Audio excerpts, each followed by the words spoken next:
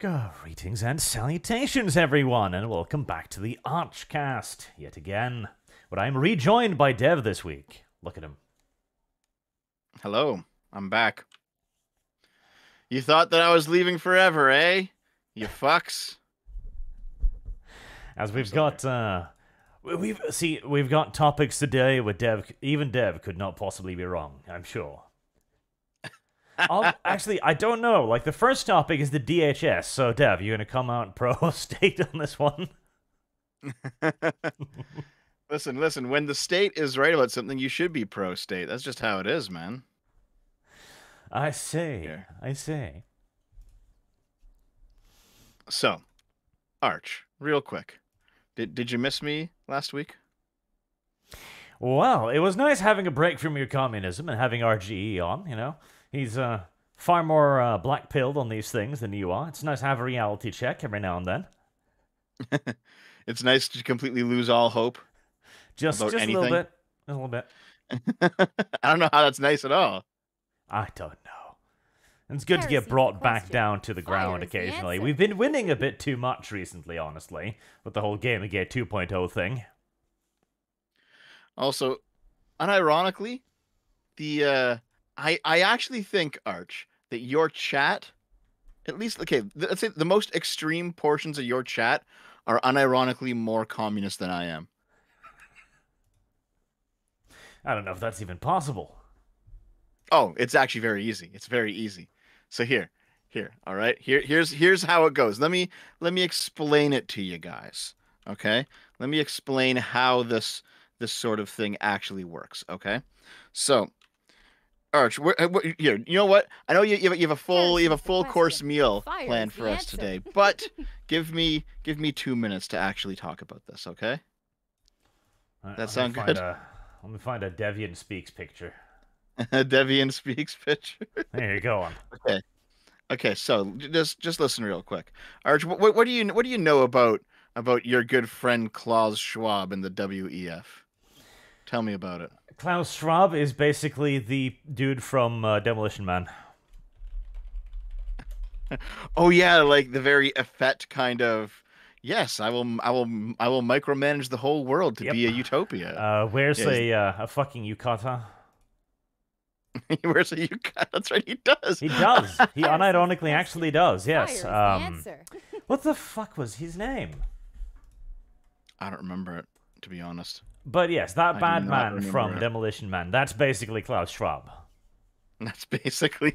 You know. You, you know what? I hadn't actually thought of it quite in, in that way, but it re- he really is, isn't he? Yeah, no, I'm, He- I'm he right really on is Klaus this. I, I really actually is like full on social engineering, effeminate nonsense. Everything will be within mind mind government. Right, right. Well, when you look at the kind of thing that uh the, the kind of stuff that that that that, that the right wingers say that Klaus Schwab and the WEF want. It's the whole, you know, you will live in the pod and you will eat the boogs and no one will own anything and you're all going to be happy and you know, basically the conversion of our current middle class into this landless serf class that just engages in in like intergenerational um like, like inter, intergenerational borrowing where they never they always owe the ruling class money so they can never actually get ahead and they never actually earn enough money to, to get out of debt so like basically like like neo-feudalism right that's basically what, what the w, what the, the right thinks the w the, the wef is up to sounds about correct do you think should live in the pod and be happy. yeah, yeah. the The issue ultimately is that that that is just a communist analysis with different words. Because the, like the socialists say the same thing, right? They say that the ruling class, they call them the bourgeois, but basically that they're going to use the exact same tactics against the proletariat. And, and it's, it's all it's all going to be about keeping them down and keeping them uh, basically keeping them compliant, but also keeping them poor and and also keeping them without ownership. So what you have is you like whenever I see a right winger, you know, spout off about about the new world order and the WF and all this fucking nonsense, they're making a socialist analysis. They're just not using the same words. Dev has discovered that there are two flavors of socialism: international and national. yes, but the, the, the point is though is that it the um the, the point is that the dissident right is much more communist than me. I am in fact not a communist at all. You keep saying this, and yet we have a video Service clip of you admitting to it, citizenship. Dev. you mean during the D and D campaign where it was a Mhm. joke? I've got it on a soundboard now. Shit, I am a communist after all. I can play it as much as is required. But no, is that going to be is, is that going to be, be like a dono sound or is something you can press a button to play? I've, I'm just press a button to play it. See, look, look, look, look, one, one guy in the chat. It's the Jews, not the WEF. Okay, listen, listen. Uh, okay, listen, funny man who says it's the Jews and not the WEF. Do you, okay, do you know why? Aside from just you know irrational racial hatred, do you know why the early National Socialists hated the Jews? It's because they didn't have a nation, and so they would parasitize, in their view, themselves onto other nations and extract from them, the same way that the communists claim the bourgeois does. Imagine that. th- th- th- like, there's a very strong link between these ideologies. Well, yes, and ironically, Service it's socialism. Right wing socialism and left wing socialism has a great deal of overlap. Yes. And uh, this is also why I am not an extreme right winger nor an extreme left winger, because both sides are communist, in my opinion. Based. Yep. To, you go in to be fair, like to be fair, you know, when I, when I went on the reading arc post Scrump, I wanted to see what, what kind of stuff he had radicalized himself with, and so I start going through some of the things he he uh, he publicly said he read, and he, he outright says this is right wing socialism socialism, and I'm like, oh well, okay then, that's what it is. It's it's right wing socialism. Sure, okay, I understand. I, I get where he's going.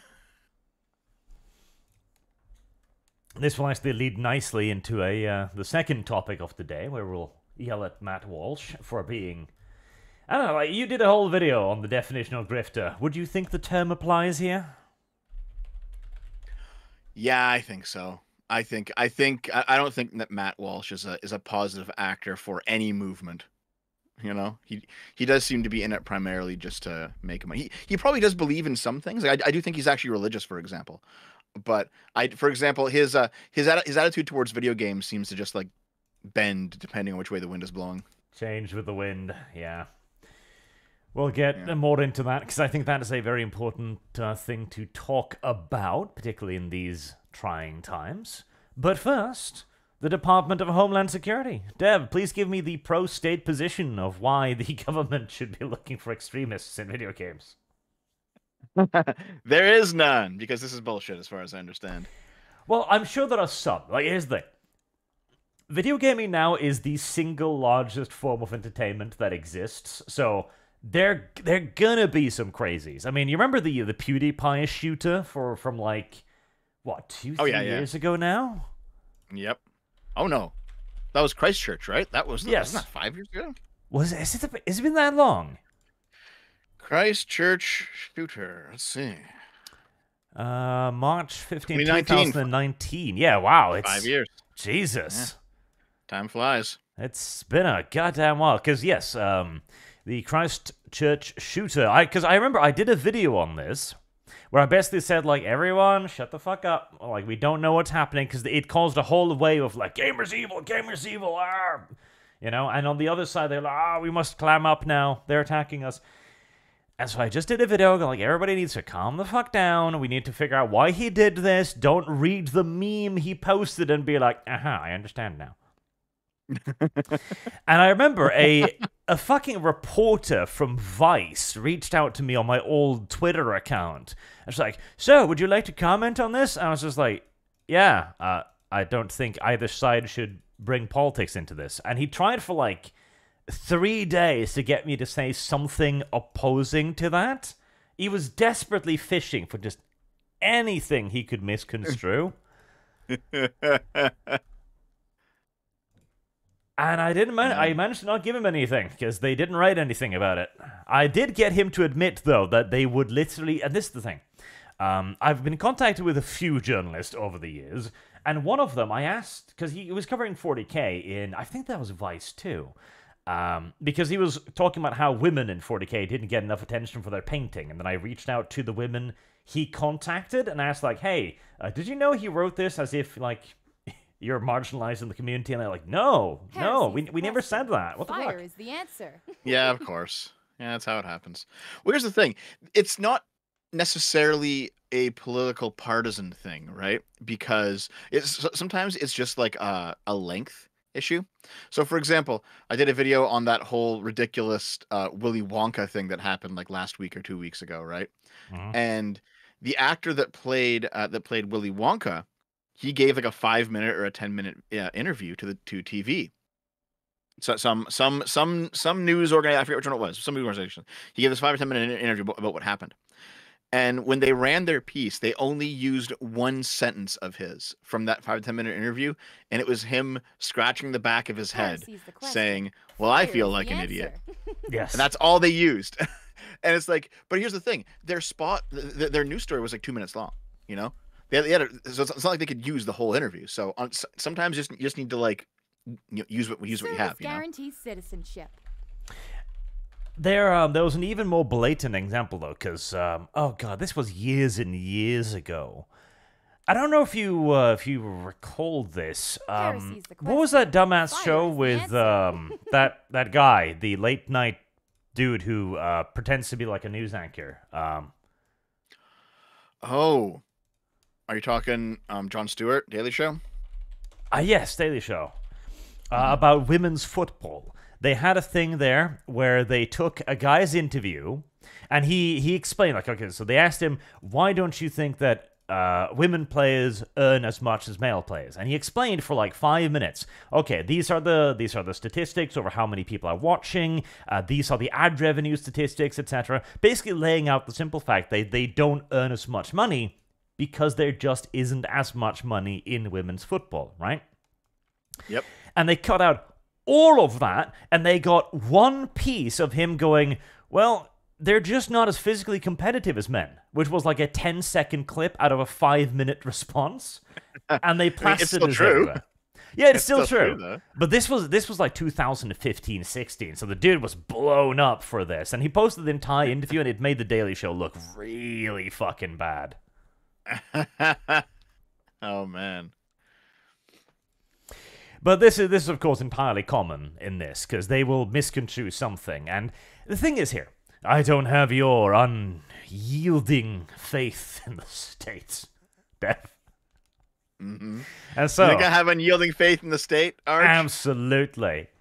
And so the DHS goes, we're looking for terrorists in gaming.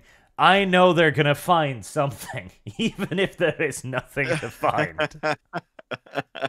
Wait, hold on a minute. You think I'm a communist? Communists revolt against the state. They don't have faith in it. Communists create the state. It's just the communist state. Look at Stalin. So here, I know that you posted the uh, the MSN article, right? Department of Homeland Security is scour- scouring gaming communities for extremist content. Um, is this happening in in let's say in direct response to the Sweet Baby stuff and how that's blown up, or is this his own thing? Um, this is in more or less direct response because what started this was a um, larger, like, think tank piece on why these governmental entities needed to start looking into extremism and gaming. Uh, now they've always been doing this, by the way. This has been going on for a very long time. The. DHS and the FBI has have never actually stopped looking at gaming since like ten years ago. Uh, but they are now being Yeah, urged yeah. on to do so more proactively and to share each other's tools and methods. Uh, basically, they're asking for there to be like a forensic database built up around extremism and gaming, probably because they're not finding that much. So they're like, God damn, we got to pull our resources here. We got to find something. So I recall something uh, that Sargon dug up during Gamergate, where he found the uh, he he found some sort of link to to something happening in the American government, but he didn't go down the rabbit hole. Do you remember that? I think I do. It's been a while. Yeah. What the fuck was it called?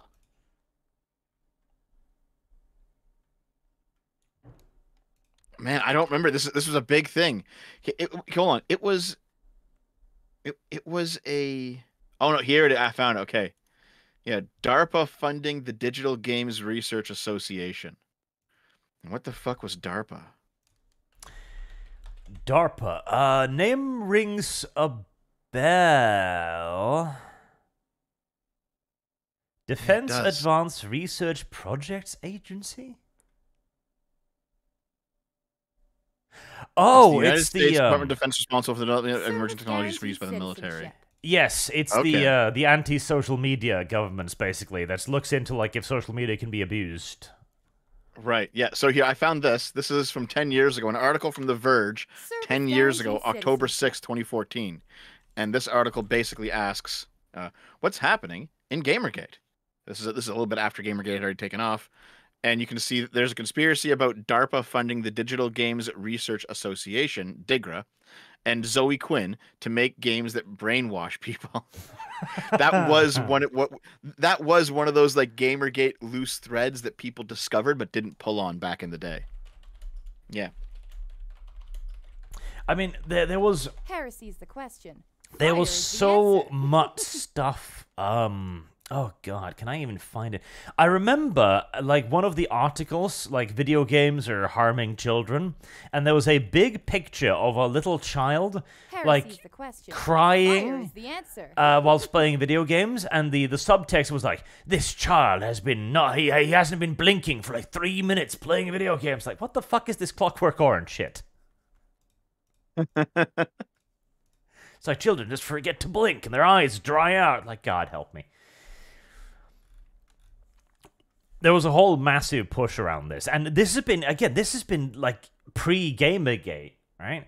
We can go back to fucking ambulance chaser. Um, oh god, what was his name? You know the guy. Mundane Matt. No, no, no, no, no, no. Mother. He was an ambulance chaser. chaser. Is was he? Yeah. Um, no, no. I'm talking about the the lawyer, the lawyer guy. Um, Oh fuck. Yeah, the, the one Gamergate lawyer. What was his name?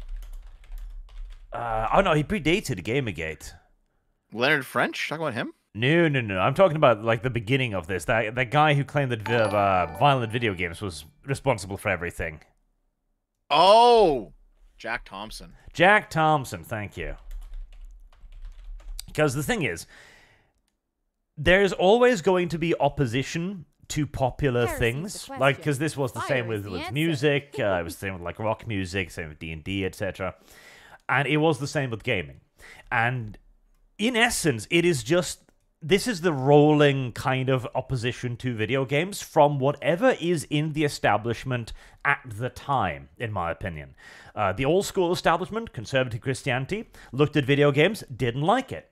And now that we've replaced those with left wing extremism, they're looking at video gaming and thinking, we don't like it. Why? Because this is not real life. This is a deviation from their point of view. It's a world in which you can indulge in any fantasy whatsoever, be it violent, be it pornographic, be it adventurous, be it. Pokemon.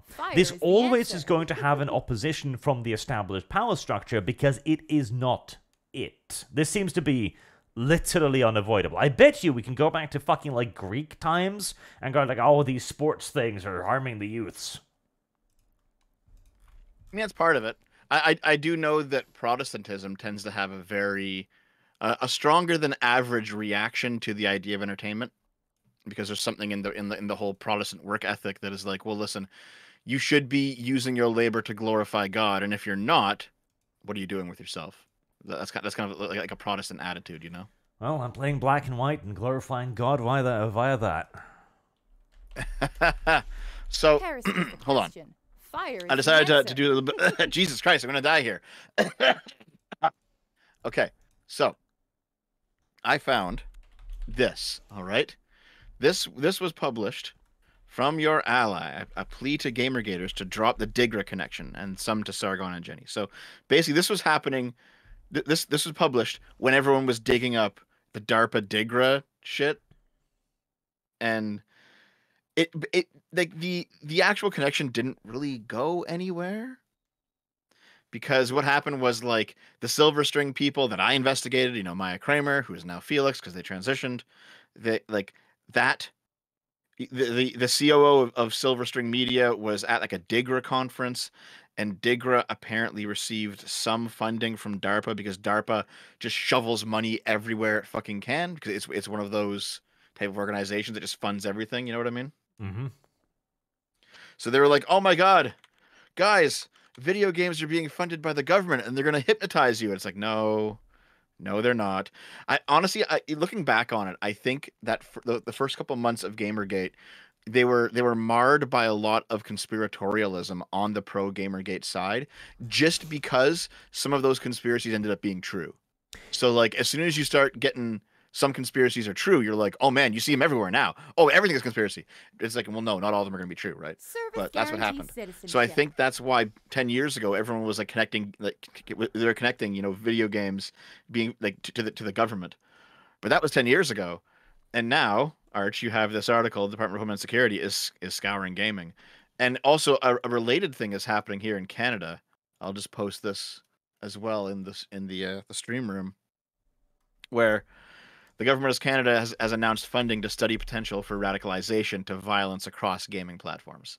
So I don't know what the detail was 10 years ago, but it does seem to be the case that right now uh, governments are looking at video games and saying, oh, are people getting radicalized on here?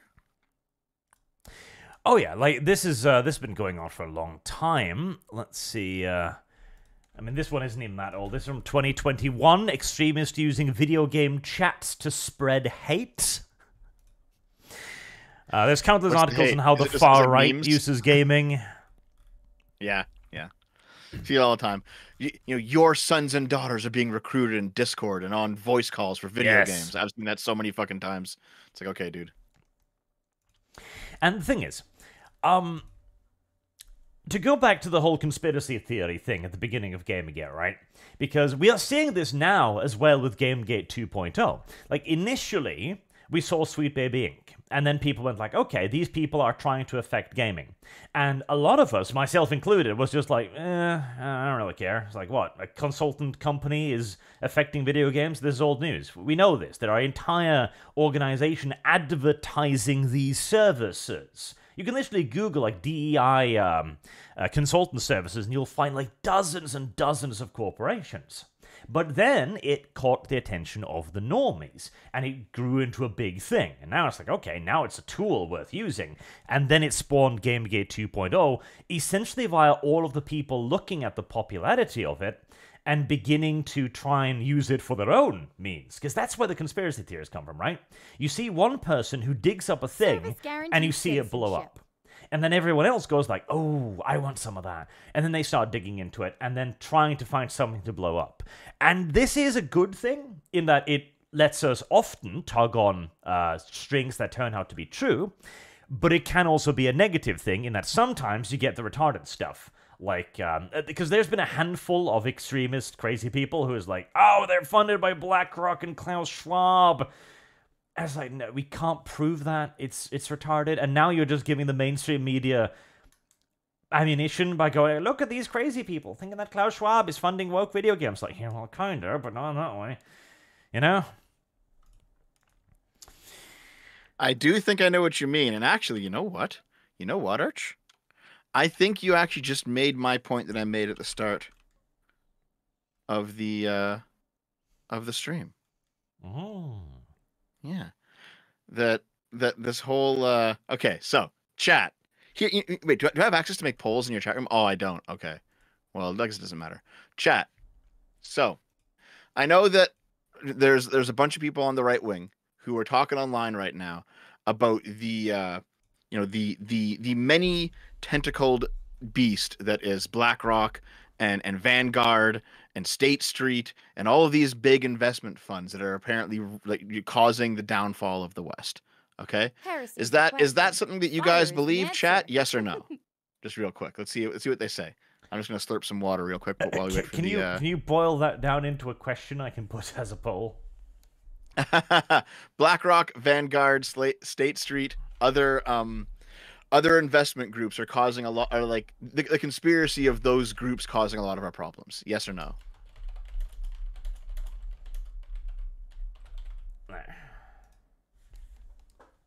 I'll put that in a simple Polish thing. And see, I think yes, yeah, they are, but not because of themselves. Uh, BlackRock, etc., are investment firms. They try to maximize their profits, and they are far beyond like your average investment firm, right? Because here's the difference. A basic investment firm might look at a thing that's happening and go, okay, there's going to be an increased uh, use for beans, right? Because a famine is on the horizon. And so they're going to start buying beans. That's the regular investment firm. It might have millions and millions of dollars, but it can only really react to changing circumstances. Something like BlackRock with $14 trillion, they don't react to changing circumstances. They go out of their way to create changing circumstances. Like they are on the level where they will actually try to create societal situations that will benefit their long term investments. And stuff like ESG was absolutely one of those things where they figured that this was a thing that would get us more money via investment because the long term argument of ESG is eventually we're going to run into situations with global warming, with changing environments, and uh, the people, the fact that people did actually say that they wanted corporations to be moral entities, right? So we are going to get ahead of the curve and we're going to start establishing the ESG brand. We are going to be the premier leaders in this. We are going to get all of the investment money for it and we are going to dominate this market by essentially going, we think this is going to be a market and we are now going to try our darnest to literally create this market. So are they causing the problems in many cases? I think yes, in large parts. But are they doing so out of just pure malice? Less malice, more far too fucking much money and far too few hands greed. That's my interpretation. Long winded. So yeah, people in the chat people see people in the chat are mostly agreeing. They're all saying yeah like the, the polls at 92% yes right? Like yes yes of course they are dev. Dev you're ridiculous. One person says that i'm saying blackrock did nothing wrong dev 2024 i'm not saying that guys by the way. I'm i'm not saying that black that blackrock hasn't done anything wrong all right? I understand the problem. Here's the issue though guys all right? Fire all of answer. you guys who are pinning this on blackrock and vanguard and etc how is your analysis different from the socialist one? How is it different from the leftist one? Oh, you're, you're both. Sh- you, seriously, you're both shaking your fist at big corporations. You're both you're both saying that capital is the problem. What's the difference, guys? Well, I would say that the difference is the political motivation of the capital in this case. How do you mean? Um, because this is essentially a corporation. So, like th- this, this is the church, right? In the 1500s, it's an organization with such vast monetary power that it can literally influence society at large, and it has chosen to attempt to influence society at large in a political direction. And that is objectionable to me. If they were doing this for purely capitalist gains and nothing else, I'd probably be like, eh, meh. But since they're doing it in a way that it is in part for capitalist gains, but is explicitly political in their attempt to do so, now I object on a political basis. Well, sure, but I mean, a, a lot of what the socialists talk about isn't it, it, it doesn't leave out the idea that capitalists also have a political motive, right? This, this, is this is what I'm pointing out here. I, listen, chat, chat.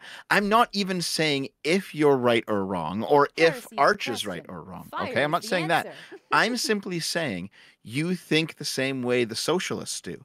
You hate the left, but you guys are using a leftist analysis. You just don't know it. All right. I Like, think uh, we're the using more of a political analysis like, rather than a left wing one. Well, what, what what's the difference, really? Well, the difference is you're ascribing a position to it, whereas I'm simply saying we're just using a set of tools to identify the problem. And if the problem happens to be corporations, then we can still criticize them without it being a left wing position. Oh, sure, sure. There's definitely like uh, a right wing way to criticize corporations. It's called right wing socialism. I don't agree with the idea of calling Fire it is the socialism, though. I, I No, think I'm, we're, we're- I'm trolling. I'm trolling. But no, but no.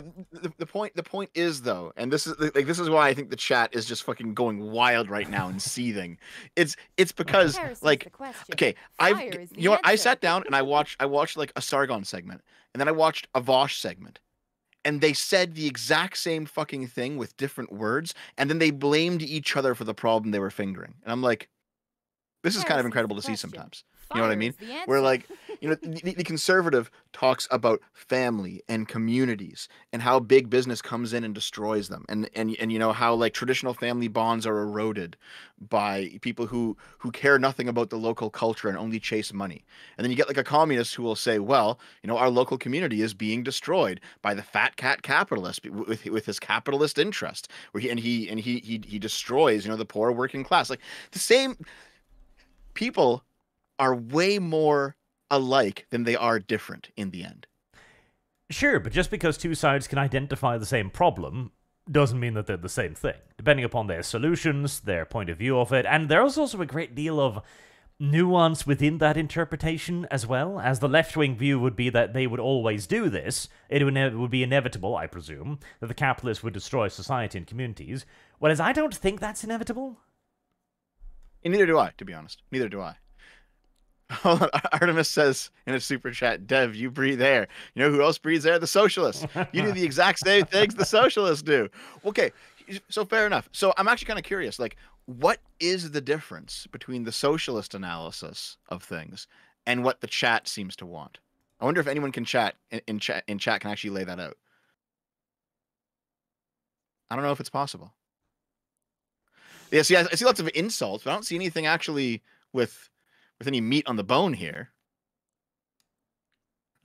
you know what I want? I want white socialism. Yeah, okay. F- f- here, funny man in the chat has already said he's like a third positionist. It's like I get, I know what you mean, dude. I get it. Service guarantees he wants white socialism.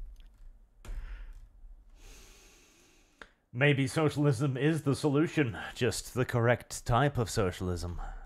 The correct type of socialism. Heresy's question. Hell, I mean, I don't even necessarily agree with that position entirely, because there are elements of every political position that can be useful. Like being a Norwegian, for example, we nationalized our um, our oil resources, right? Obviously, a socialist Heresy's position, question. right? Fire is the answer. But it has also unquestionably benefited Norway and its populace tremendously. So I was like, Yep. okay, at the end of the day, that was probably good. Yeah. But we are, we are probably getting a little bit too uh, Heresy's the question. two-sided political Fire compass here, answer. where it's either left or right. Nuance, Dev. Nuance. Oh. Well, the the honest truth is that it, it God. I, okay, but It- I can't it- put that up. but I'll put see- it in Think Question. channel so Dev can see Fire is the answer. it what what's actually happening here is it seems to be like center versus extreme right now, where where where the extreme left and the extreme extreme right have more in common than with let's say you know the current liberal world order. Probably, and I, I think this is honestly unavoidable uh, because this is how the pendulum swings, where we are always going to be torn between two extremes, and it's going to be very difficult to avoid that. Because right now, with the falling political dominance of the left, obviously the people on the right are going to see an opportunity and they're going to move in and go like, "Look at them! They fucked everything up. Look at them! Here's my solutions. They're the opposite of theirs." question. Because Fire now, the again, answer. all politics, all politics, I've come to the conclusion, is the 2% arguing over the attention of the 98% who just want to grill. Yeah, yeah, it does seem to be the case. Yeah. I know. So Ar- Artemis actually, of all the people in the chat, Artemis actually makes like kind of a point here. Normal people want the market to cater to the demands of society, while socialists want to destroy the market and dictate the demands of society themselves. That's probably true, but that's not a position that's unique to the left wing. All right. I have seen many right wingers suddenly go very anti-market as soon as it serves them, which is which is what we'll get into with Matt Walsh in a little bit. But like there are so many right winger. Oh, oh God, the the, the right wing objection to, to pornography. There's clearly market demand to, for porn. You can't deny that, right? And how many right wingers are like, fuck the free market, fuck capitalism, fuck individual liberty. We got to ban porn. I see it all the time. All right. So th- this is not a position that is unique to left wingers, Artemis. And in fact, we will kind of, as you mentioned, mention that on Matt Walsh too. And yeah, BlackRock is causing all of our problems, says chat. 92%. I mean, that's fair. Fairly conclusive. There's actually uh, here's the thing. There's actually like like a decent argument that BlackRock is in fact a socialist entity, but I'm not sure anyone in the no no one in the chat has brought it up yet. I've been waiting to see if someone Fire would, is the answer. but I haven't seen it yet. I've seen a lot of bad arguments for it, but not not, not the good one. R.I.P.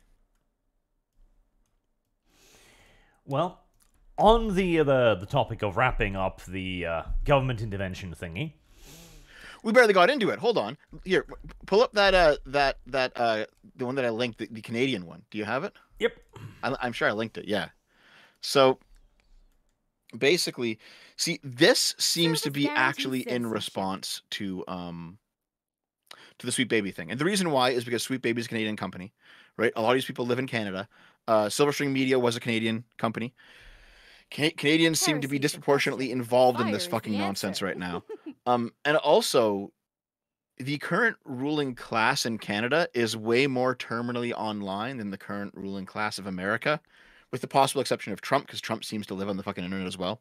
But like, there are so many. Oh my god, Canada's become a nightmare. I don't know if you've noticed in the past few years, Arch. I man, I saw there was an instance where like a, a woman was raped, and the when the, the case was appealed to a higher court, the judge in the higher court admonished the judge in the lower court for using the word woman instead of saying person with vagina in the court file.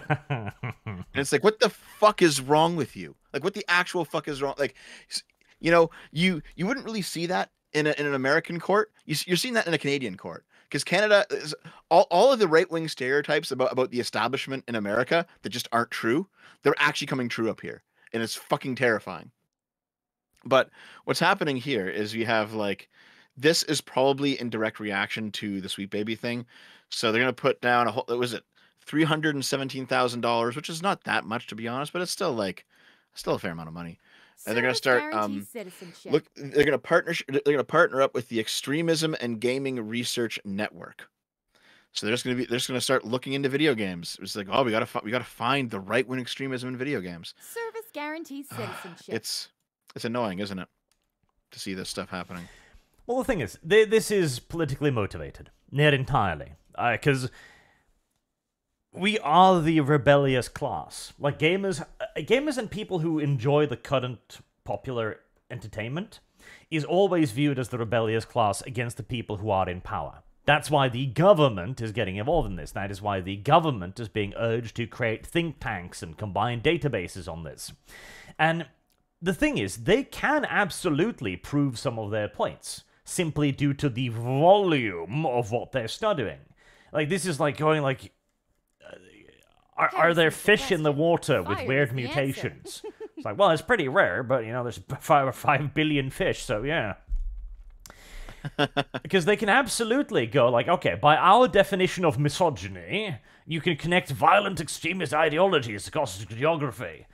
Because it's true. Absolutely. By the definition of a Canadian fucking minister, what goes on in the average Discord chat room probably seems like terrorism. Yep.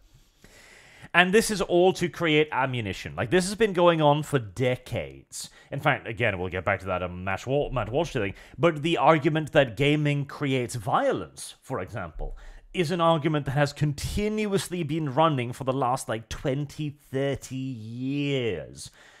It is all in an, a, a desperate attempt to find some stick with which they can beat gamers with. The problem is that they ha- they are completely unable to find any actual thread to pull on here, right? Because normally in extremist environments, there is some sort of solid core. Like you have um, a fundamental idea. In right wing extremism, it's of course going to be the right wingism. In Islam, it's going to be Islamism, etc., etc. And there's going to be a dozen variations on this, but you can always identify Service some communality. But in gaming, what the fuck is the communality? I like electronic entertainment. Like, this is literally the you enjoy drinking water thing. Do you guys feel like pulling on a thread? There's a thread to pull on. Arch in that Canadian Canada.ca uh, news release. Mhm. It says that the Royal United Service Institute for Defense and Security Studies is partnering with the Extremism and Gaming Research Network. So, I'll let's pull on the thread here.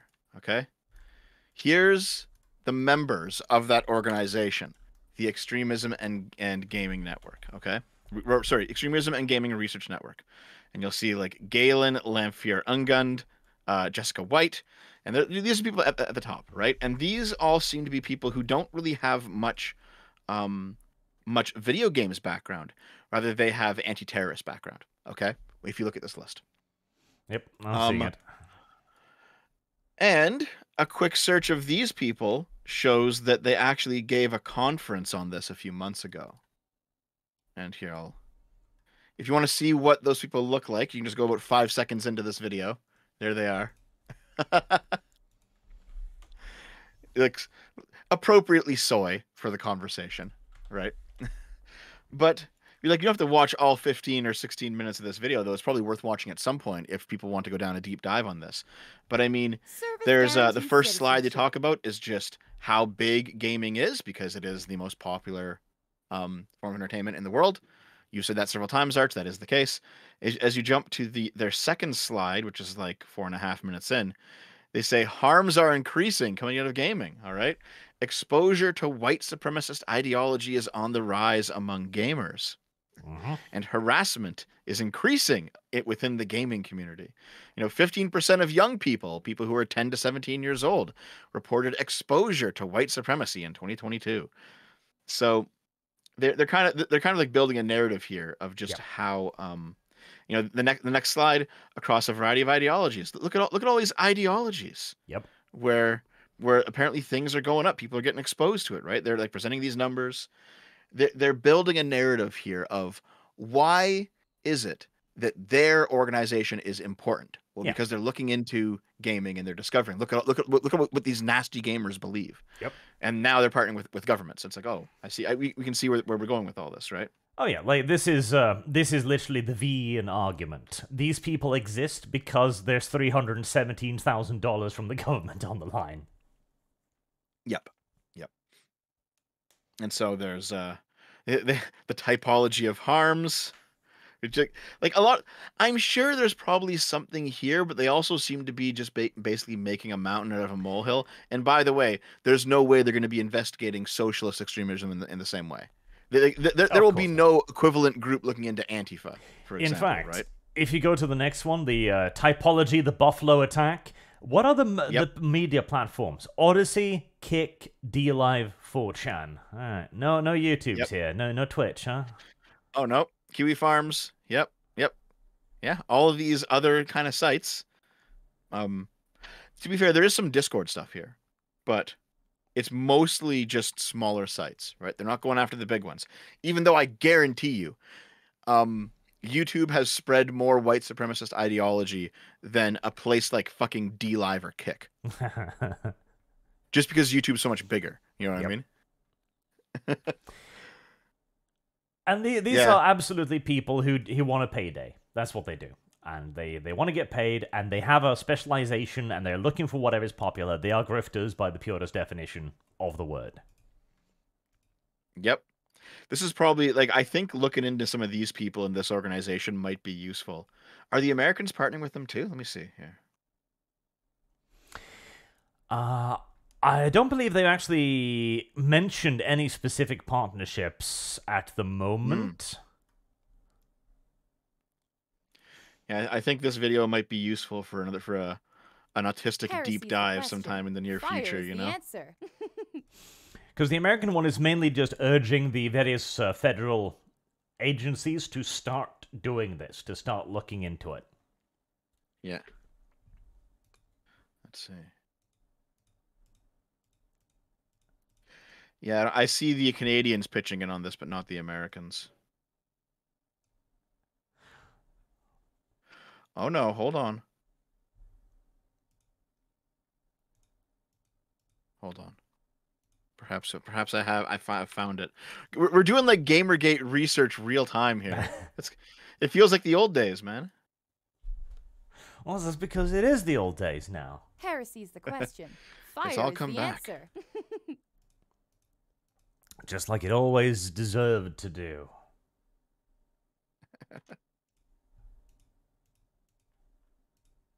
I gotta get the actual name of this Gaming Research Network. Okay, I'm gonna Control F this PDF real quick to see if we have anything. Oh, we do. Okay. Here, so this is from.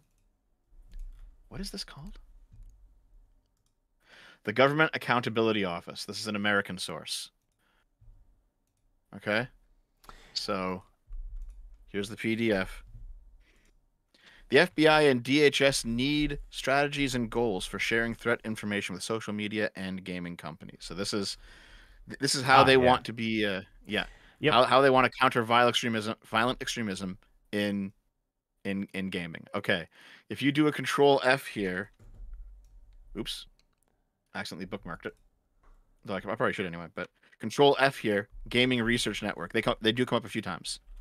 Yeah. Apparently someone from one of their offices went to a meeting with the Extremism and Gaming Research Network in April of 2023. Yep, the guy they were consulting with is the guy we just uh, mentioned, Galen Lamphere Englund, whatever. Yep. It's Devernet. So yeah, so it seems like yeah. So here here's the list of organizations that have have participated Yep. in this PDF. Experts there's a who whole list. participated in the GOA's interview. Yep. So Extreme and Game Research is there, but also so is the the Anti Defamation League, the Southern Yeah. Poverty Law Center, like all the big names. Yeah, the ADL, right? ADL. Several so- from the ADL, actually. Yeah. So all all these names from all these different organizations, where their whole thing is, we need to make sure that people don't say mean stuff online. It's like, okay, guys. Because this is just the next step in the grift. Like, this is the same enemies, as always, doing. This is why Gamergate 2.0 is so fucking real. Because this is literally the speed run. Because it took a while for to get the FBI involved the last time around. But they're already working on it because they know, right now, as we've said countless times, right? Leftism is still in power of the levers uh, of the institutions. They can still wield the institutions, they still have power within the institutions, and so that's what they're going to use. And getting money from the government is one way they're going to do it. Getting the institutions to try and. This is literally them going, hey, FBI, uh, could you dig up some dirt for us? Please? Well, I mean, that might be part of it, but it also just might be like these guys become sources or like maybe sources of, of training for some some department inside the FBI or something, right? Where it's like, hey, they want to make some money. Uh, Basically, like a series of a series of agents who are just going to sit on your fucking Discord all day and monitor what you do. Well, how do they know what to do? We'll send them to like a seminar given by the Extremism and Gaming Research Network, and I'm sure it'll cost something like a hundred thousand dollars per agent. But they'll put on a seminar, and now now our guys know how to sit on Discord and and watch gamers, you know, dropping n bombs in their video games, Oh, absolutely. and that'll be Heresy's the yeah. question. Fire is the And answer. Gillian Lamphere Englund will uh, will collect a hefty appearance fee, no doubt. Like the the amount. Yep. Oh god. If anyone is ever into like big corporation stuff, um, you'll know how many like consultants and such people operate in these things. Pure leeches, practically, that just go there and get a paycheck and do nothing. Their their entire industry surrounding the idea of just gathering paychecks to pretend to solve a problem that, as we see here, they've usually made up in the first place. Sounds like the bourgeois arch, comrade. Hmm, sounds like the socialists. The socialists are the new word for the bourgeois. Well, no, unironically, because okay, let me. I, I okay, I can argue this fucking point. I can now. I realized the bourgeois was just a term for the uh, the ensconced privileged class. Well, guess what, Dev? The ensconced privileged class right now are the socialists. Which is why, chat, you shouldn't be so ashamed of using a socialist type analysis against them. They're still your enemies, aren't they? Hmm. Careful. agreeing with Dev too much can be dangerous. hey, listen, listen. The reason I read all those books about Lenin is because they end up being useful. Okay. Service guarantees citizenship. And of course, this also does because it is useful, right? Because we now know what the next step is too. Because this is known. All right, they are making the thing to get the levers of power moving in their direction because they're within the institutions. The next thing is going to be that they find something, and I guarantee you they will find something. And then that will be the next step against the Gamergate part, where we are again going to return to arguing over the 98%. They're going to bring up their studies and they're going to go, hey, we saw this and this much increase in extremism. Here are the top examples of extremism. And this will then be used to paint their opposition in a negative light. We saw this too during Gamergate, where, you know, people like Sargon started calling Nazis and so on. The uh, well, the Sargon only, back then called them third-party trolls, right? Because there there 100% were people who were just fucking around on 4chan, they were fucking around in IRC chats. They're thinking it'd be fun to just just to stir some shit up and rile someone up. So I'm gonna go on this completely new Twitter account with no name, no face on it, nothing, no post history, and I'm gonna go post at Anita Sarkeesian and call her a bunch of slurs or send her some threats, and then put the hashtag Gamergate in the tweet, and then watch her explode on all the people who are actually publicly Gamergate, like Sargon, for example, right? That's how these things work. Is there's some there's, there's some shit stirrer who's just having fun at, at making some chaos and laughing at it, right? And and so he ends up pitting these two sides against each other. Yep, and this is why I'm saying that they're going to find something. The only real difference is back during Gamergate 1, these people had all of the not just institutional power, but the cultural power their accusations will not have the same weight anymore. Because you call somebody a Nazi or a white supremacist today, the first question out of Normie's mouth is going to be, yeah, but what do you mean by that? Yep. That is kind of the big problem is the the the, the coordination of the second you know the, the 2024 era round of articles where they said gamers are dead didn't work this time. It worked 10 years ago. It did. It pretty much it pretty much destroyed gamergate because everyone just got enraged and forgot the actual goal. This this time no one cares because no one trusts them anymore right? So when they all came out and they're like oh my god gamers are doing this to poor sweet baby inc. Everyone's like yeah so what?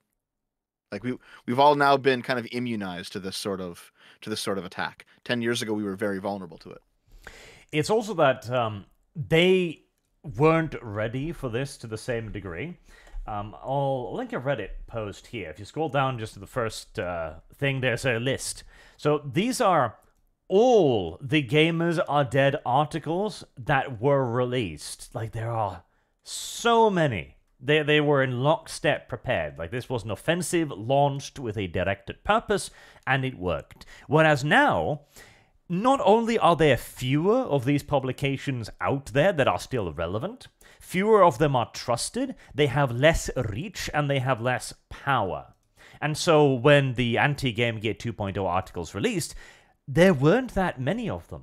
And they were even less worthwhile because, like, oh, the tiny, the tiny consultation company, Sweet Baby Inc., is under attack by the evil gamers, and they all repeated the same lies and the same factual inaccuracies, and it just sounded bad to everyone involved.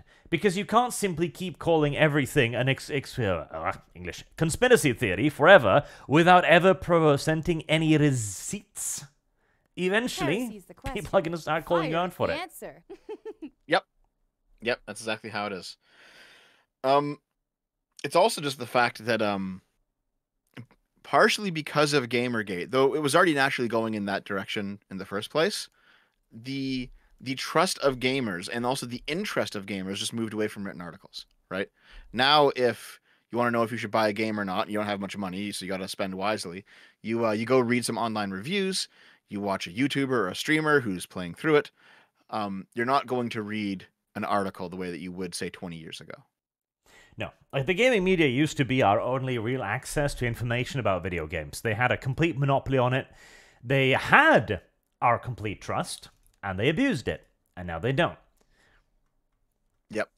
In fact, I remember people saying uh, back during Gamergate that a lot of this was kind of a a desperate last ditched attempt by the game press to wrestle wrestle control back from YouTubers because in 2014 YouTubers were still like were still like there were there were big YouTubers in 2014, but they, it's not the way it is now, and they were on the rise, and they and I think a lot of the games press kind of saw the writing on the wall, and they're like, we got to we got to get them back on our side somehow, and I guess their gambit was to attack them, which didn't work out. when the solution was oh so simple uh, just become professional paid shills. Well, it was to apologize, right? Like, man, okay. For those of you in the chat who who who weren't around during Gamergate, I want you to to understand this, okay?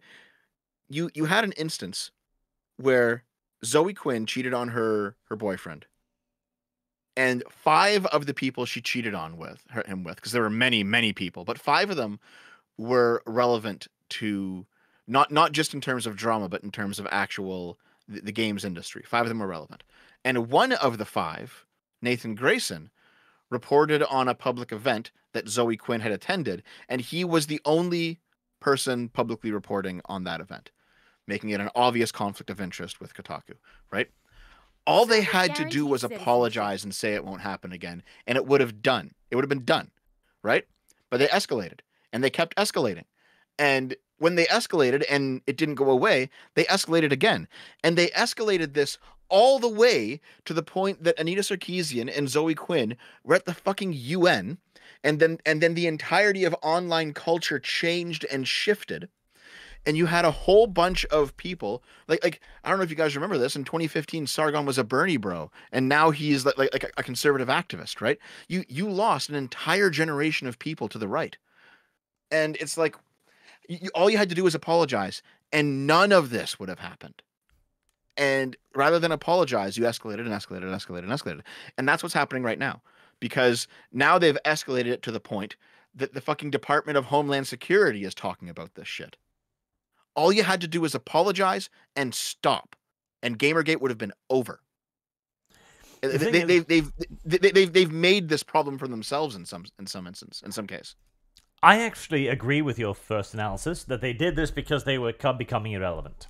Um, because they definitely saw the writing on the wall. Because I remember um, there, um, and the, the, answer was absolutely be, to become paid shills too. Because I remember after TB passed away, his editor had like a long talk about his uh, like career and time with TB.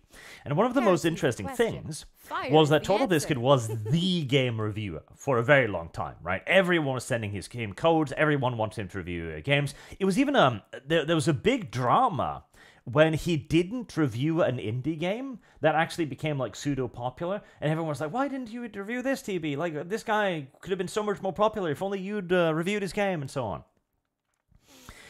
And and near the end of his career, he stopped receiving a lot of review codes. And he asked his editor who was handling his email code, like, why don't I have a review code for this and this, this game?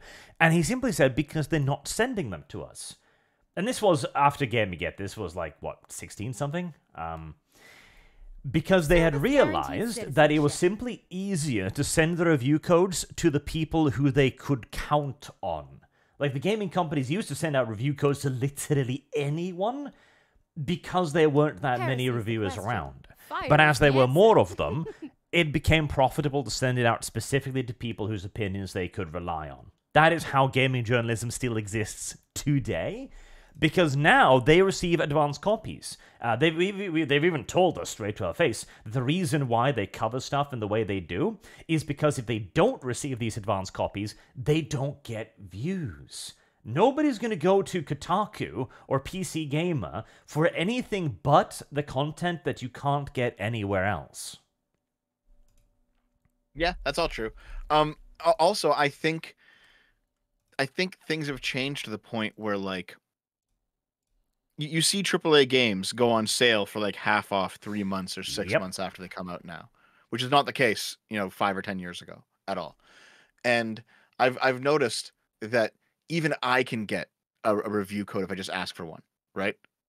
The, the, the, like I know what you described, Arch, is true, but push push forward now to 2024, and they're just giving out review codes like fucking candy and and they're marking their games down like crazy too. It seems to be the case that like on some level they, they just don't give a shit anymore. Well, like, like in it, an interesting it, way, Um, I- this I got a copy for free of like of like Assassin's Creed Odyssey just for no reason. I, I, I just look, I, I looked at my fucking inbox and Ubisoft was like, "We'll give you this game," and I was like, "Uh, th- thanks." It's like, okay, why? But Yeah, I guess that I have it happens. Like, yeah, I, I was given a copy of Power Simulator with for the 40k DLC as if by Square Enix. Like, hey, would you want this? I'm like, I don't know if I do, but thanks.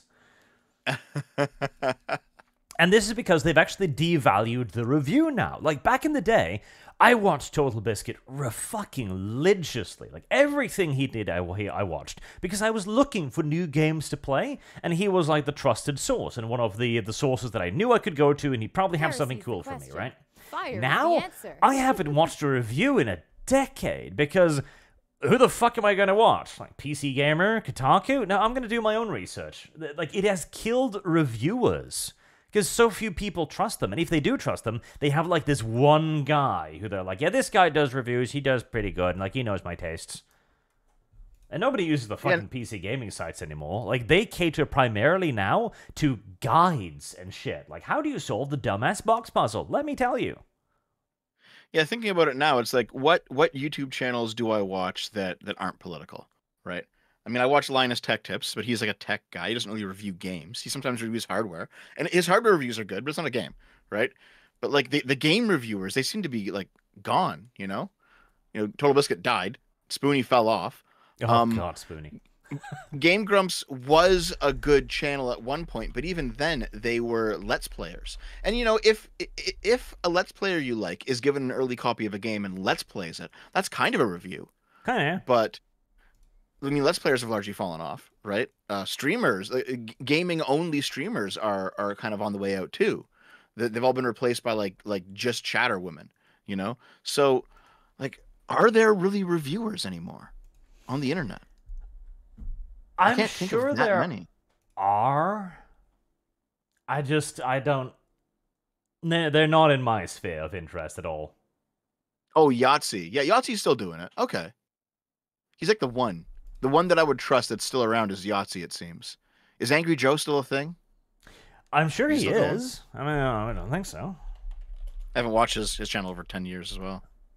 Uh, I mean, he he was accused of sexual molestation a couple years ago. Remember that? Yeah. And he did the right thing. Man. It's like, nope. Man, I'm looking at his channel and like he has 3.28 million subs and his view he, he has views around the same same amount as me. It's like oof. That's rough, Joe. Yeah, because again, like nobody gives a fuck about reviews anymore. Yep. Simple, simple as. Ah, Spoony. Here, chat. I'll put up Spoony on screen for a little bit so you get to be sad with the rest of us. If you Get know to who be sad was, about it. that. So here's what I found, okay? Um, the Department of Homeland Security is funding some sort of online, uh, some sort of online mental health resource called TakeThis.org, and they put out a GamerGate 2 article. So these are some tenuous connections, but money is changing hands. oh yeah, I remember. Uh, I remember seeing this one. Heresy's the question. Yep, Fire is the and they answer. talk about Gamergate and ex- extremism, and and you know like Sweet Baby, and it's all just how terrible the harassment is and how terrible gamers are. Like all this, all this shit. All it's it all just feels tired at this point because nothing here is new. It's all the same things they said ten years ago. Yep. Except now it has that official corporate governmental veneer. Uh, if you go to their front page, they've got that little mascot with the sword and shield because they're like, okay, what what do gamers like? Like, let's do like a, a superhero and like like wings and like a sword and like shield, but not a sword- not a sword in his hand because that's aggressive. Service I- guarantees citizenship. This is like its own style, the corporate style. Whenever you go to a corporate or government website, they're all the exact same layout. I swear to God, they all use the same company for this shit. Yeah, yeah, probably. Hold on, I'm, I'm looking at their TakeThis.org. Fa- uh, uh, sorry, sponsors. Double Fines down here. Fucking Games for Change is down here. Child's Play, of course. Bethesda. Riot Games. the Digra Foundation, Xbox and Ubisoft. Oh God, Team Team Salvato. Here, Team Salvato. They did um. Doki Doki Literature Club. So I remember my uh, my sister was tapped to do official merch for Doki Doki Literature Club because she's an artist, right? And she was like, "Listen, Dev, this was years ago, so it's fine." But she was like, "Listen, Dev, you cannot bring up the fact that you're related to me." because I will lose. These people are so progressive, and I will lose. I was like, yeah, okay, I get it. But yeah, like games. I, I recall Games for Change. Games for Change was a fucking. It was a yearly conference they put on at E3, and it was all just a bunch of progressive bullshit. of course. It's like, how do you make how do you make your games actually impact the world? The and change politics the and make answer. things more progressive. Well, come come watch Games for Change, where we lecture at you for two fucking hours, and it's like, where's the video games? This is E3. Where's the fucking video games? It was one of the final nails in the E3 coffin. They dragged the corpse along for another couple of years, but now E3 is over. I guess the last thing I'll say about this topic is that I know that there's this sort of sinister conspiratorial lens you can you can take to look at the story and be like, "Oh my god, the feds are involved. Games are actually just being completely directed by Joe Biden himself to brainwash people into being communists." And it's like, "No, that's not what's happening. That's not what's going on. What what's going on is they're competing for government money. There's government grants. There and and basically they can push progressive politics. They can shit up games, and they can make a lot of money doing it. But this, I I don't think it's a scheme from the government. I just think that it's it's one of those things where like people at the top don't know what people at the bottom are doing, and just there's just a, a big financial incentive here. Women and power, and a little bit of uh, political incentive. And the fact that, again, these are the levers of government that they have access to, which is why there's a celebrating the women of DHS thing on the front page Mhm. of the DHS. Yep. Joe Biden uses video games to bomb Israel. okay. I wish. All right. Let me uh, do some super chats. I'm sure there's some of the uh, the topic here. Then we'll move on to Okay, one guy, one guy in the chat is saying, "No one is saying that, Dev. You're straw manning us." And then one guy, another guy in the chat is saying, "Dev, you're coping if you don't think it's happening." it's like, okay, guys, come on, you can't. Okay, go, go ahead. Arch. uh, Mate Svejik. Hello, Art. I want to ask: Is the upcoming game Trench Crusade on your radar? It's pretty grimdark and has Mordheim rule writer working on it. Trench Crusade. Isn't that the um? It is. The tabletop game, isn't it? Yes, it is the uh, tabletop rule set. Um, I've looked at it. It looks cool. It has nice art. It's got a cute universe. Um, but unless it's going to be making a video game adaptation, then probably the extent of my interest, as uh, I'm not going to get into another tabletop war game. Especially not as I'm working on one of my own. Hmm. Mercy Next 21, hello, fellow gamers and others on the watch list. We will all be on watch list soon, if we're not there already. I mean, Dev is probably on a watch list. Also, Yeah, Serrano, probably. Random fact for Arch to read out later. Did you know the proper name for Canada is the Dominion of Canada? I think it is actually, Oh, or is that just like an old name that's that it's been? Hold on, the Canadian has confirmed. let me see. That's way too cool Dominion name of for, Canada. Yeah, the Dominion of Canada is the country's formal title, though it's rarely used. Yeah, it sounds too cool. Hmm. Like, can you imagine that being introduced at like sporting events? The Dominion of Canada. You'd expect some real badasses to come out, and then just Canadians. Hmm. Right, a dominion is a self-governing country within an empire. I mean, that makes sense too. But it sounds way too badass for Canada.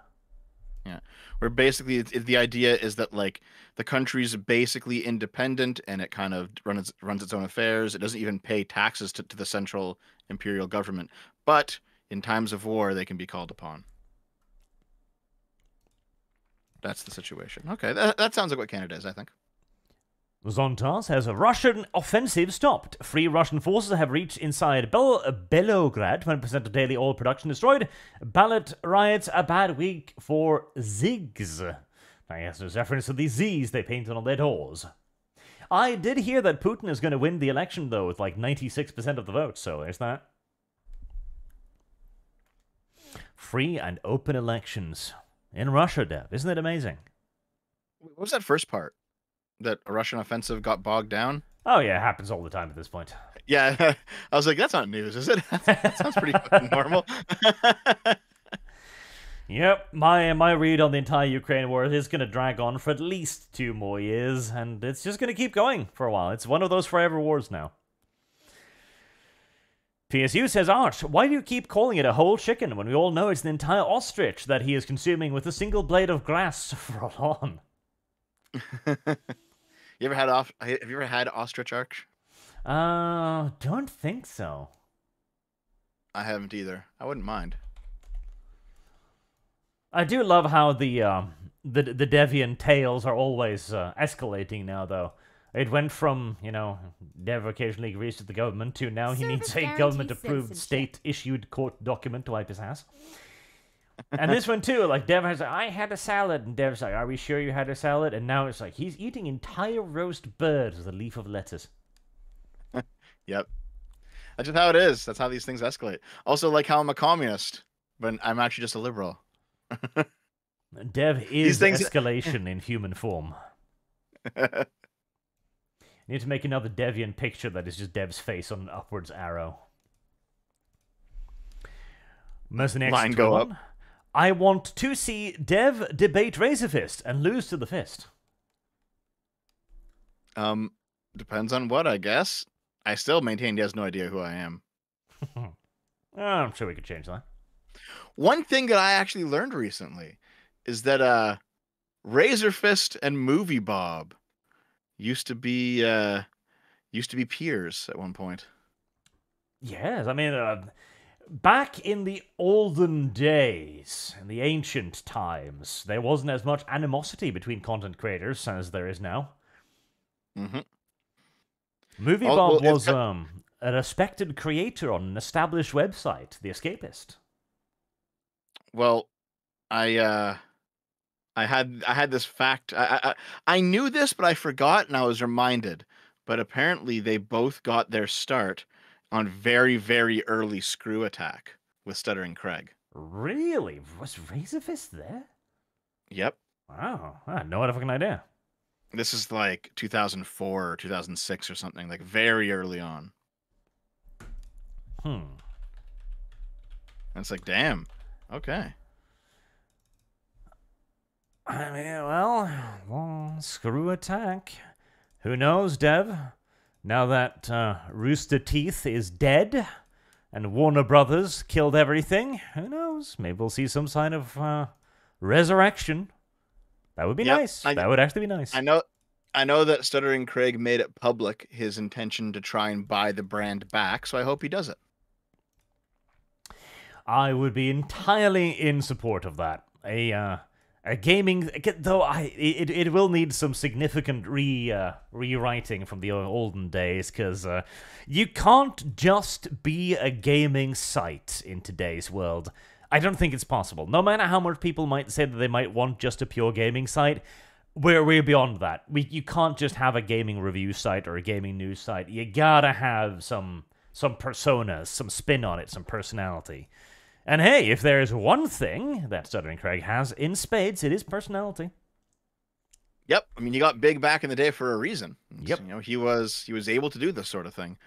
Um, I, you know, I'm I'm not sure. I think if you could offer a site that had the appeal of old forms and and stuff like that, but was still ultimately funded by like embedded YouTube videos, you know, the the, that guy with the glasses model of 15 years ago, I think there's an appetite for that. As long as it's done well, it's not like it's not crashing constantly or bogged down. There, I think you could do it. I think I- you could you could do it. I honestly don't think so. I like, I'm I'm quite blackpilled on this. I don't think that style of thing is relevant anymore, just because there isn't the same hunger and general interest and enthusiasm for gaming at large. Now it's far more particular and uh, like individual driven, cult of personality thing. There there needs to be something different. I think the age of just the gaming website is over, but who knows?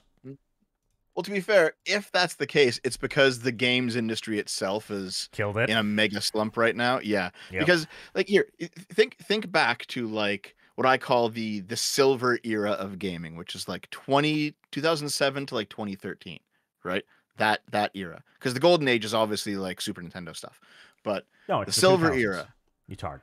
is no no no the, the silver silver era tw 2007 to, to 2013. Yeah, Golden right, Age was 2000. That's when it started. No no no 90s Nope, was the 2000s. 90 90s. That's 90s. nah, nah, nah, if anything, that's the Silver Age. The Golden Age was the year 2000. in any case think back to 2007 to 2013 okay? That that period. There was a shit ton of like it was hype central on the internet because youtube was just kicking off let's players were just kicking off sites like craig's were, were taking off. Um, you could actually talk about gaming on the internet with a bunch of people instead of just the random idiot in your fucking class the one who actually liked games. Most people didn't. And also gaming's upcoming offerings seemed incredible right? Like the ps3 looked fucking amazing. There was great games coming out on all the systems right? Like a bunch of the wii games were amazing. A bunch of the 360 games were amazing. It was hype central in this in this period right?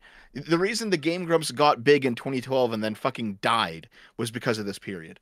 It was a combination of the internet being new and the games being good and the surrounding culture being one of hope and positivity Oh, that that is the most important point. Hope and positivity. Because we were playing games with the express expectation that they would only get better. And this is why I say 2000s, by the way, because in 2000, it was still considered the standard for the sequel to a game to add more to the base game. Like, gaming was getting better. And uh, we were just like, oh my god, in 2020, what are we going to be playing? What kind of absolutely amazing, sprawling, incredible storylines with unbelievable graphics are we going to have? And here we sit. Yeah, exactly, right? Like like say what you want about uh the first Last of Us game, but when that first came out on the PS3, it was actually like really really interesting. The graphics were incredible for the time. The whole walk and talk kind of story simulator was very new and it was actually like a decent little story. Um, the, the the gunplay and the crafting was all new. Like it's it's all been done to death at this point. But basically, like the, they they made a game in 2012 that is more like a 2018 or a 2019 game. Yep. Which is why I think people loved The Last of Us so much. Um, you know they've they've since com- they, they immediately drove that fucking franchise into the ground, but for like a a little period of time there, it was very highly regarded. But basically, like, yeah, the the games have become all samey and all shitty. The the the hope and the optimism in the community is gone. The hype is gone, right? No one's doing uh, big big amazing midnight releases anymore. Now, I know that I'm a bit biased here, but I will say one of the places where the, all this still exists is Nintendo. All right, yourself. you don't like Nintendo. Minecraft. If you don't like Nintendo, if you don't like Nintendo, that's fine. You don't have to like Nintendo games. But like, if you compare Zelda Breath of the Wild to Zelda Tears of the Kingdom, it is exactly as you say, Arch. It is just a straight up improvement. It is everything the old game was and more. And that's why there's still hype for Nintendo games. People still get hyped up when the next Nintendo console is announced or when the next big Nintendo release comes up. And it only exists on Nintendo and a few other small areas of the internet because mainstream gaming has overwhelmingly killed this. So yeah, I, I I do think you're right that like a screw attack type site, either either it needs to have that culture come back before it can truly thrive, or it has to somehow create that culture itself, which might be possible. That's a good point. Create the culture itself. Because it might, because I think that might be what it needs to be. That it needs to be something suitably old school, but also suitably new to become something different entirely. Mm-hmm. So we, we do need we need something. We, we need something that can bring back the old hype days of 10 to 15 years ago. And Nintendo's doing it, but you know what? Um, not everyone likes Nintendo games, which is just it's fair, right? Like like you and Sargon Arch and, and Kibbs, you guys all like a specific type of game, and Nintendo doesn't doesn't make those. You know, I like open world RPGs, I like action adventures, I like platformers, and Nintendo makes those, and they're great. But not everyone likes those games. So that has to come back for other types of gamers too. Yep, it'll be interesting to see. I'm gonna do a poll to see if it's the 1990s or the 2000s that are the best uh, golden age. I expect you to be ratioed yet again, Dev. That's fine. You guys are all wrong. Poor Dev, he's delusional. Here, I, I've I've sidetracked you long enough because I don't have that much more time, and uh, you have super chats to get through, so I'll let you do it. In that case, uh, let's do Matt Walsh. Oh, are you sure? Yes. It, well, yeah. Here's the thing, right? Like, okay, first of all, there's the the time change thing fucked me a bit, Heresy's and secondly, I have a scheduled stream with with a donator, um, in half an hour, and I was like, oh shit, the time change ate an hour that I was gonna use. But I mean, I I could I could start like thirty minutes late on that. I I could maybe I, maybe I can give you another hour at the most. Okay, well, then in that case, let's do the Matt Walsh thing, because I suspect this one might be shorter as well. So this started uh, with episode 1326 of the Ma- Jesus Matt Christ, Walsh Matt show. Walsh. I mean, good on him. He's been going for a while, uh, clearly. Like, he's had a very long, successful career. Is it a daily show? Ah, It's got to be with that many with that many episodes. I don't. I don't. Service Guarantee citizenship. I don't know. citizenship. I I have no idea, honestly. Um, but it's titled "The Radical Wokeness of the Video Games Industry." Uh, today on the Matt Oh. Walsh Show, the video game industry has perhaps done more to indoctrinate children into wokeness than any other industry, yet it largely escapes scrutiny in the mainstream. Is the opening blurb, and it, it, throughout it too. Also, it comes across. I, I don't know. Have, have you listened to this, Dev? I have not. No, I, I've seen like clips, but no, I've not listened to the specific one. I whole listened to it a bit, and it really comes across as if Matt Walsh has suddenly realized that video games have wokeism in them. And it's like, so you little motherfucker. You know, considering Gamergate converted an entire generation of gamers rightward, you know, Mike Cernovich and Milo both got started in Gamergate. Like, okay, dude. yes, it, it's a little bit like it comes across as like the honestly the the charitable interpretation is hello fellow kids. I heard you were talking about this popular thing. Can i can i join your games? Right? The less charitable interpretation is a person that has been quite vehemently anti video games going well this is popular. I should get on board.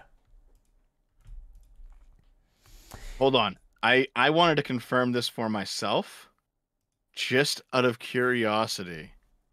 Okay, Arch, we, we don't gotta dwell on this too long, but I'll post this in the link channel. This is the Matt Walsh Show, episode one. It's from six years ago, and he's just kind of sitting in his car talking to his phone.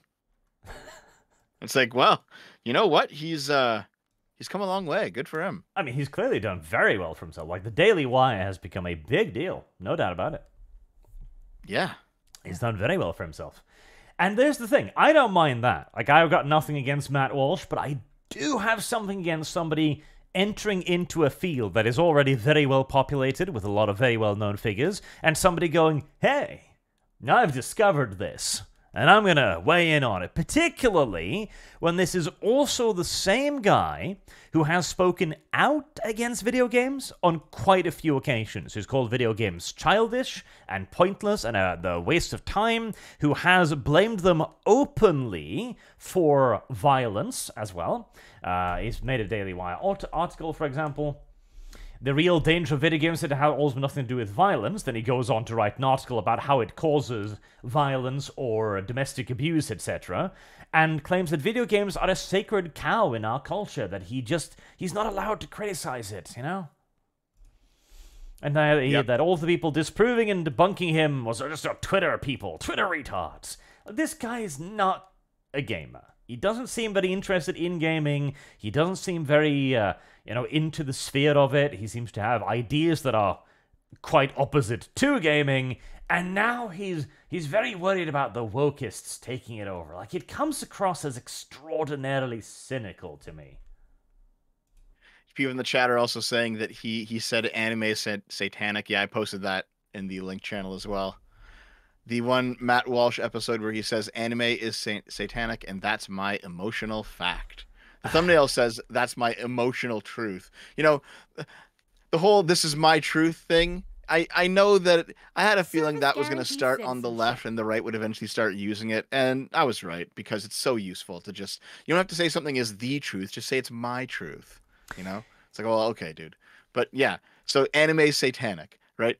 So Matt Walsh is definitely 100% cut from the same cloth as the old Christian conservatives who wanted gaming censored back in the 90s and 2000s. And Arch, you and I are old enough to have lived through that. Yes. And it's the main reason why we didn't grow up right wing is because we were young gamers. We didn't want our stuff. We didn't want, we didn't want our games taken away by people like Jack Thompson. And, we- and we thought that their arguments were fucking ridiculous. You know, the, guys like Jack Thompson were getting clowned on by Penny Arcade back in the day, and they were the laughing stock of the internet. And this idea that Matt Walsh can come in and say the exact same thing and not get laughed out of the room just because leftists are also retarded now in a way that they weren't 20 years ago is it's it's delusional. Of course he's going to get laughed out of the room. And he did get laughed out of the room.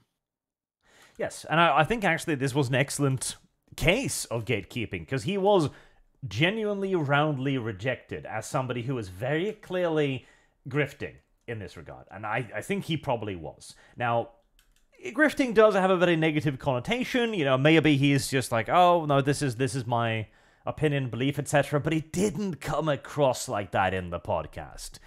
It it is difficult to describe. It, it very much so came across as he had figured this thing out for himself and was now revealing the truth to us. Like, ah, dude, my dude, come now.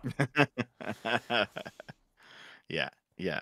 And, And, uh, okay. the thing is, dude, on the emotional truth thing, because I want to expand upon that a little bit, because it is a very valuable tool. Because here's the thing: there are certain things and ideas that are totemic, right? And you, like, like degeneracy, and when I say degeneracy, I mean like full-on debauchery, like eating yourself until you're 500 fucking pounds, massive, etc. Uh, never working out, like going to excess in everything. This is bad. And we could go into a lengthy explanation, a citizenship. 50 minute explanation. Okay, this is why, this is how your body reacts, this is why you need to exercise, this is why you need to move, etc., etc., etc. But it's a lot easier to simply say, mm, morbidly obese people bad. And that's So- kind of what this is doing. I did want to pull this up real quick here. Because you're right, people are noticing. It, and it it does feel a bit like that phase of Gamergate when right-wing personalities got involved because Milo jumped into Gamergate not really caring about video games, but it was a way for him to advance his brand and he did. Right? He made a career off of Gamergate. Mike Cernovich made a career off of Gamergate. So I think people are also sensitive to this sort of thing too, where you have people who see leftists attacking games and they're on the right and they can go, I can make a career off this. And I think we're also we- we're now also been immunized to that as well. So you know, this this was Matt Walsh's reply to everyone giving him backlash for jumping in, you know, feet first with no idea what, what the fuck he's talking about. He said, uh, I have to say, I've been the target of some extremely unreasonable backlashes in the past, but this one is probably the most ridiculous yet. This time, people are mad that I talked about an issue in the news. Apparently, I have no right to discuss it because I'm not in the club. Truly the dumbest outrage I've ever encountered in my life. And man, that is really saying something. But the issue is that's not like that's Service part of why he had he was outraged, but it wasn't fully why he was outraged because, like as you said, Arch, this was his take from 2018, where he said that video games are a sacred cow in this country, and I'm tired of it. Our, our country is filled with adults who are obsessed with games. You all must pretend insanely. There's nothing wrong with or disturbing about a child spending all day killing people in a virtual world. So it's like, listen, we know that Matt Walsh doesn't have gaming or gamers' interests at heart. We already know that. It doesn't matter that he's right wing. It doesn't matter that he's based or whatever the fuck. It doesn't matter that you might like him on other issues or you might watch his podcast. On this topic, he's not a friend. Yes, he is not an authority on this. And Service the, the excuse, it's first of all, it's very like, oh my god, I the, the bad, the people are coming for me, the gamers are attacking me. It's got very, very that vibe, the very left wing vibe on it. And the simple fact is, you get you can talk about this. You can, of course. You are you have your free freedom to do it. You have your podcast, etc. But you are not an authority. You're not an expert. You are not somebody that probably should be listened to. And he does present himself as if that is what he is, which is why he has spoken at length, very authoritatively, on this. Whereas, like, of course it's harmful to the child. This is again this this is old school conservative Christian again. Like, why are you doing all of these incredibly oppressive things for the children? I remember this. Mm-hmm. Yep. Yep. Now th- there is an, an argument that Matt Walsh's aim is DEI, right? It's ESG type stuff, and so he's going he's going to talk about it everywhere, not not including in gaming when he doesn't actually like gaming. Yep. Because there's DEI in gaming, he's going to talk about DEI in gaming because his target is DEI, not gaming, and that's fine, right? But we have to understand that if DEI is completely routed and destroyed and tossed out of our society, that does not mean that Matt Walsh types will leave video games alone. They will they will in fact endeavor to install a right-wing variant of DEI that does the same thing but for right-wing politics instead of left-wing politics, and then we have to deal with that. So I'd rather not deal with that, frankly. because that is his stated intention. Like, people are not going after Matt Walsh. And I'm not talking about this because he talked about it. I'm talking about it because he is in opposition to video games. He stated it again and again. He's made a. He's never hidden it until now.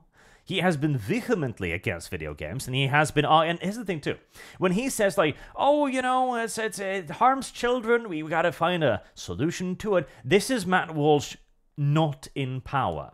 This is the uh, this is the opposition going like, oh, we got to find a, a nice medium medium solution, and uh, you know, I'm not gonna do anything extreme or anything. I guarantee you, once they get in power, they're gonna do the extreme thing because this is what happened to the left as well. What'll happen if you get gay marriage? Nothing. Gay marriage will be legalized and twerk shows in kindergartens. I think it's also important to point out that I think you can tell it's very easy to tell the difference between somebody who's commenting on this but not because they like gaming but because they intend to use this versus someone who actually cares, right?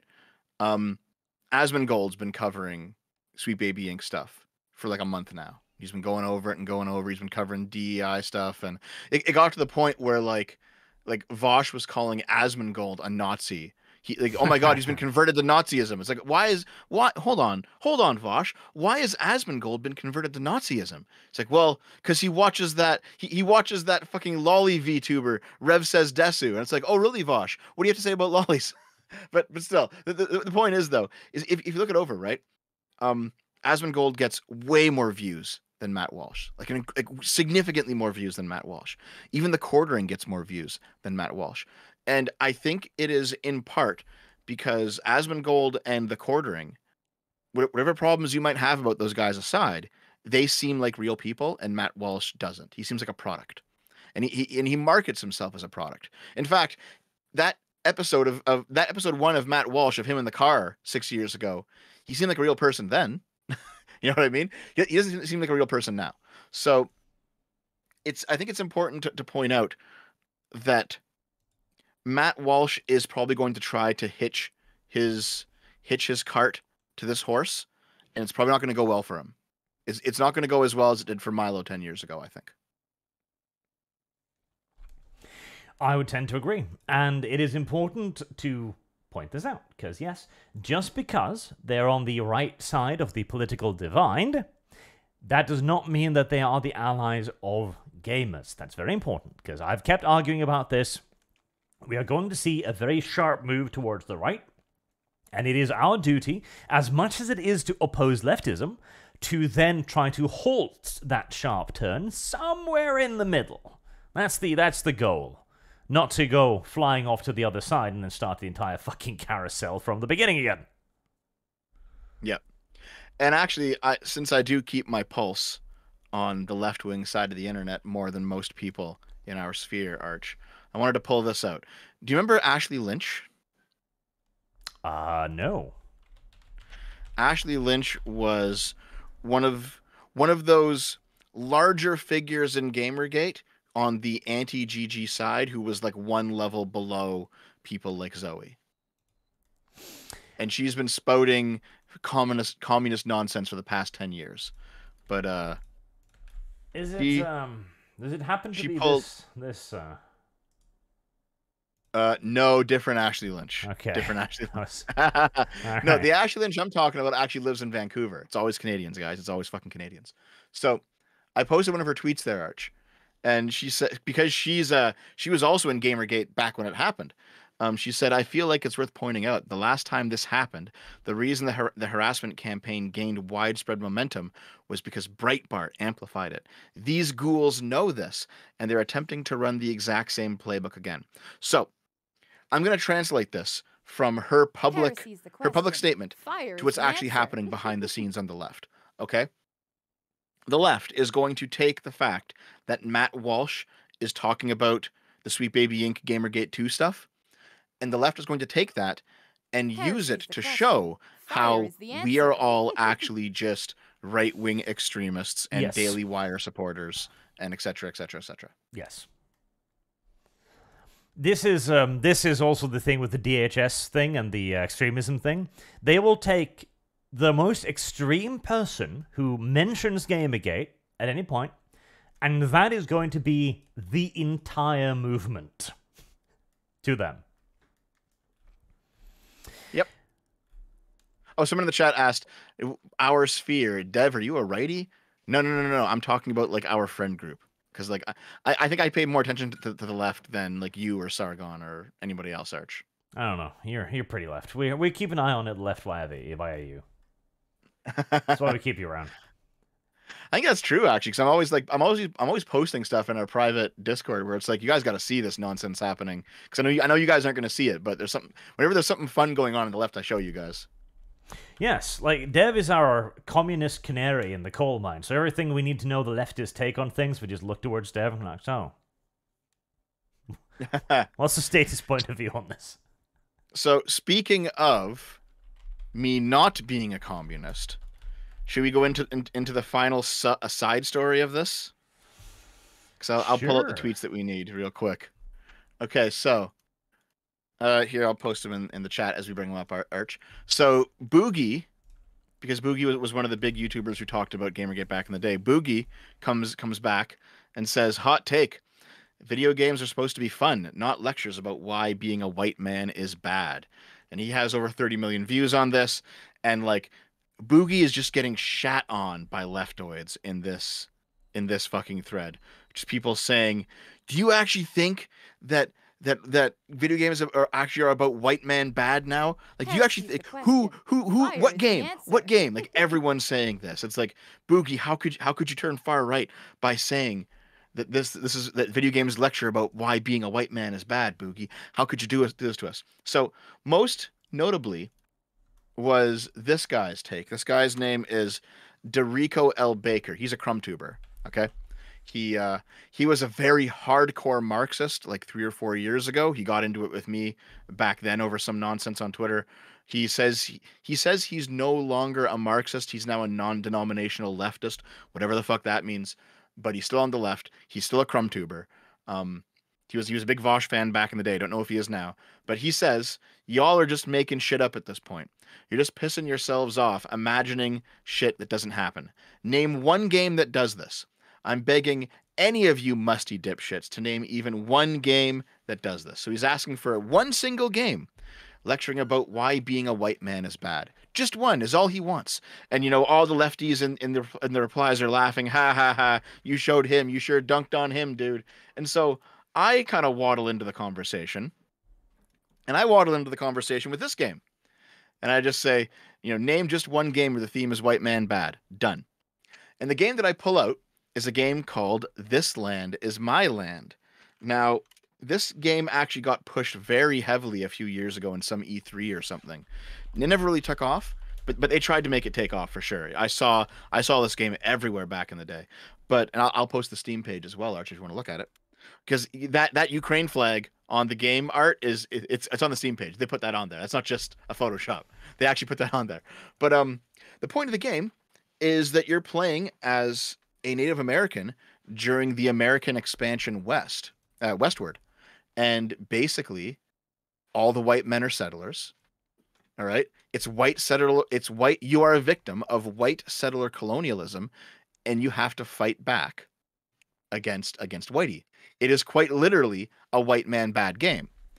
And so I post this game, and I'm like, dude, here here's here's the one game that, that you're that you're talking about. And as soon as I post this, my tweet fucking goes viral, and I have every left wing commentator on the internet in my mentions right now shrieking at me. All the bread tubers, all the fucking left way video video s all the left left wing video essayists, right?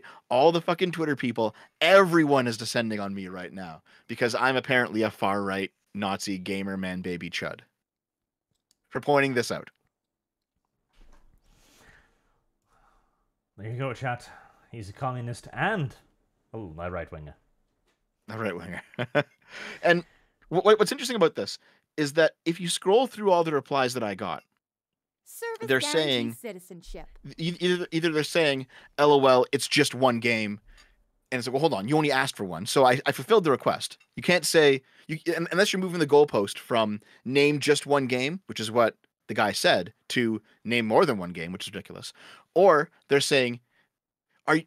Or they're saying something like, "You do understand that natives were victims, right?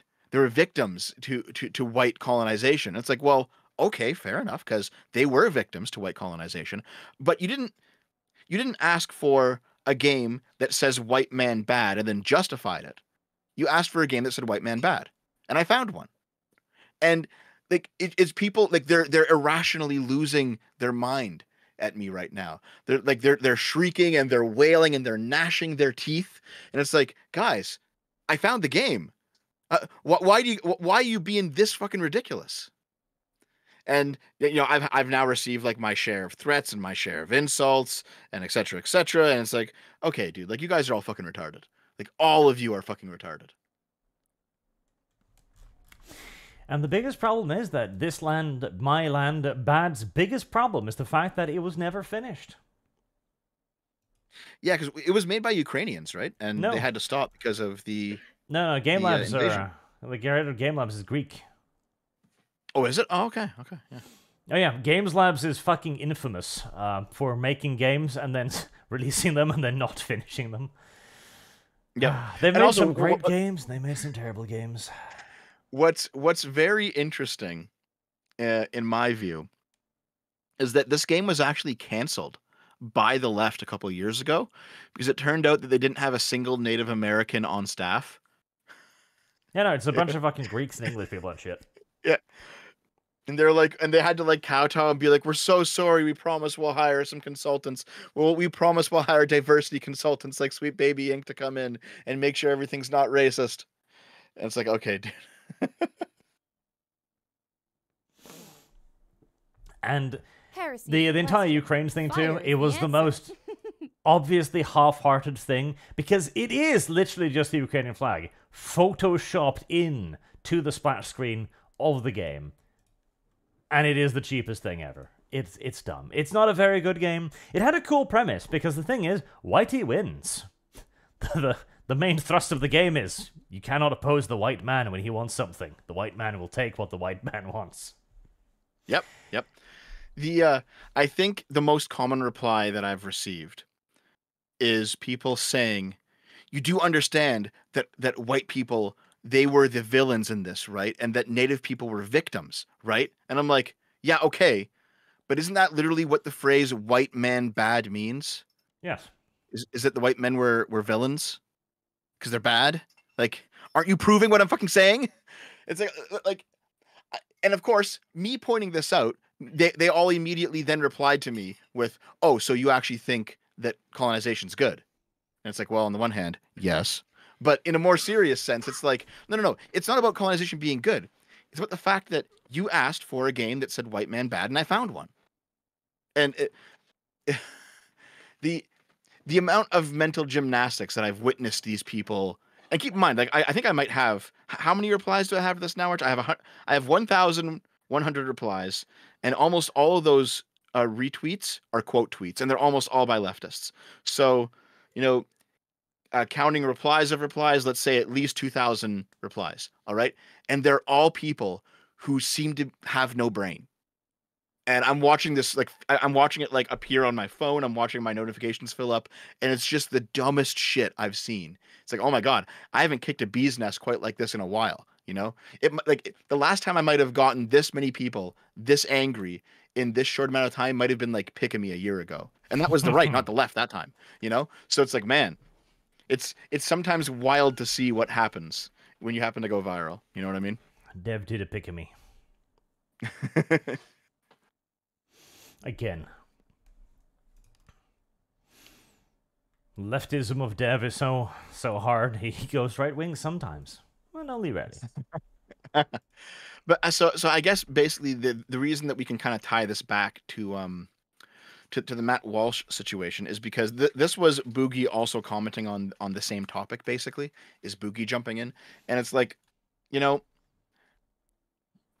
neither of these groups actually care about video games at all. Well, no, Boogie put a... um put a video well, Boogie does. Boogie... right underneath it. Because yeah. Boogie's well, primary goal here was Boogie's channel dead. Boogie also, Boogie also, Boogie's in debt. I don't know if you noticed. That. I think he's he's like fifty thousand dollars in debt or something. If you see, there's like a, a documentary did, done about him. He, he, he needs some money, but but basically like. Like, I'm, I'm sure there's definitely a part of Boogie that cares about video games. He does seem to be a gamer at heart. But what, what I mean is like the broader right and the broader left don't care about gaming. Yes. It's a cultural battleground for them.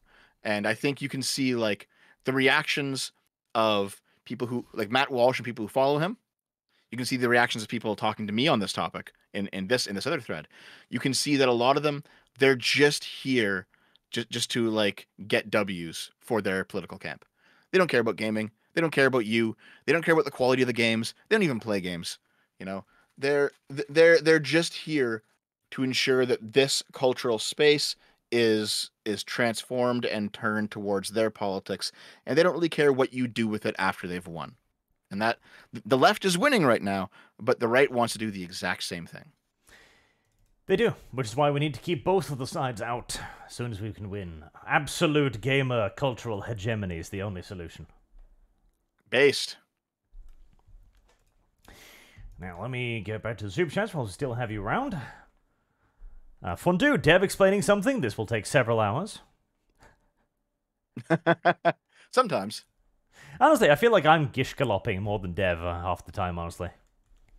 Because usually Dev brings up something, then I have to explain my thoughts on it, and usually that takes a while. And I'm sitting there looking at Dev like, did you get all that? the question. Fire is the answer. Well, I, I, I know, like, when I was doing the, um, oh, what was it?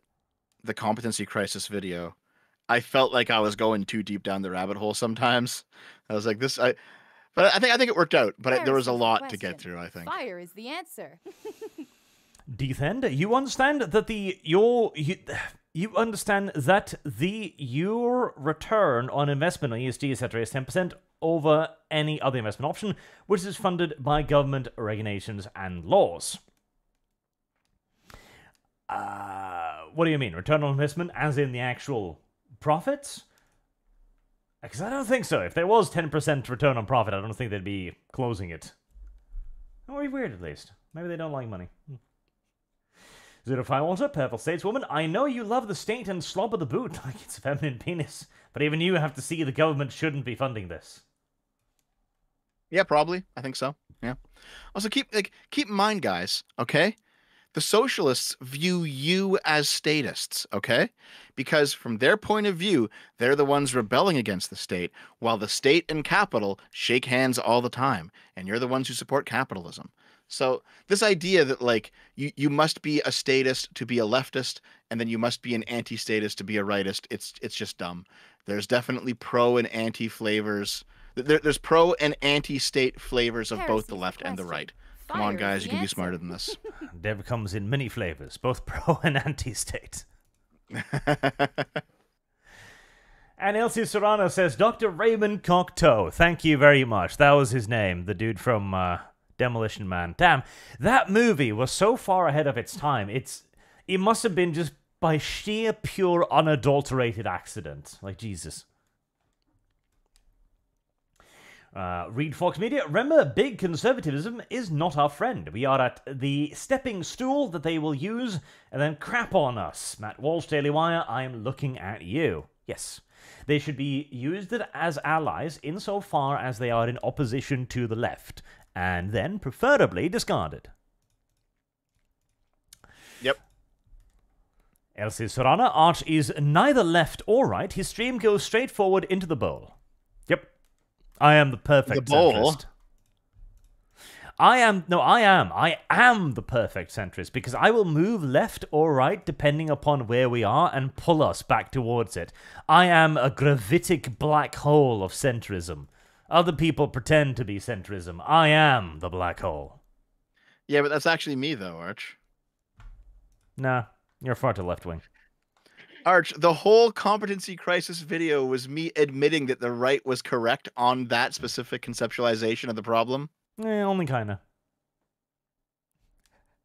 I even said the left wing version of it, late stage capitalism, was just by far inferior. See, you're left wing centrism. That's what you are. You're still sitting there perching on the left, begrudgingly admitting when the right is correct. Meanwhile, I am on the far right side of centrism. I'm pulling us back to the center. As we head towards the right, my mass will drag us back to the center again. I am true south. Okay. Lord Metalman says Dev isn't a communist guy, he's just a big believer of the regime telling what's true. If it's not stamped by the Ministry of Truth, it ain't worth anything.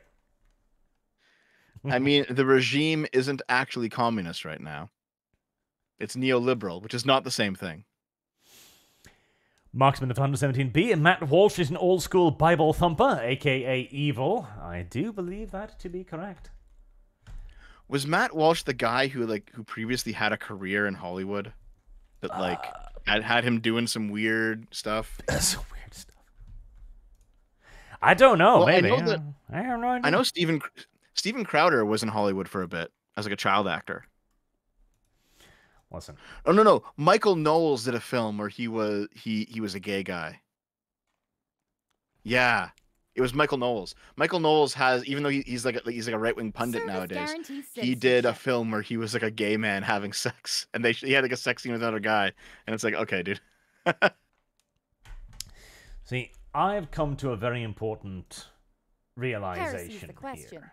Fire is And the that answer. is that true South is always chat, which is why uh, Boog sent me this, one of your creations, Marksman 117B. Chat has turned the fox into a horse, the barista into a ferret, the lawyer into a PNG tuber, and from your stream with Arch citizenship. turned his friend Kibbs into a femboy cat girl. With all this power, is chat not God?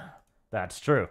Chat is what determines what is and is not real. Chat is the orchid hive mind. It creates reality. Agree with the chat, Dev, for it Service is the guarantees guiding citizenship. force that will lead you towards correctness. Nah, it's far too plebeian for me. Not interested. I am in fact above all of this nonsense. Ratio him, chat. Ratio him now. You know, you know what? You know what? I fully accept the socialist analysis. I simply I'm simply part of the bourgeois and the bourgeois are good. Our third. They, by the way, I did the poll 2000 or 19s, 90s. I won Dev. 90, the 2000s were the golden age of video games. We got it again. Uh, most next one. Every time Dev talks, I facepalm through my skull. Ooh.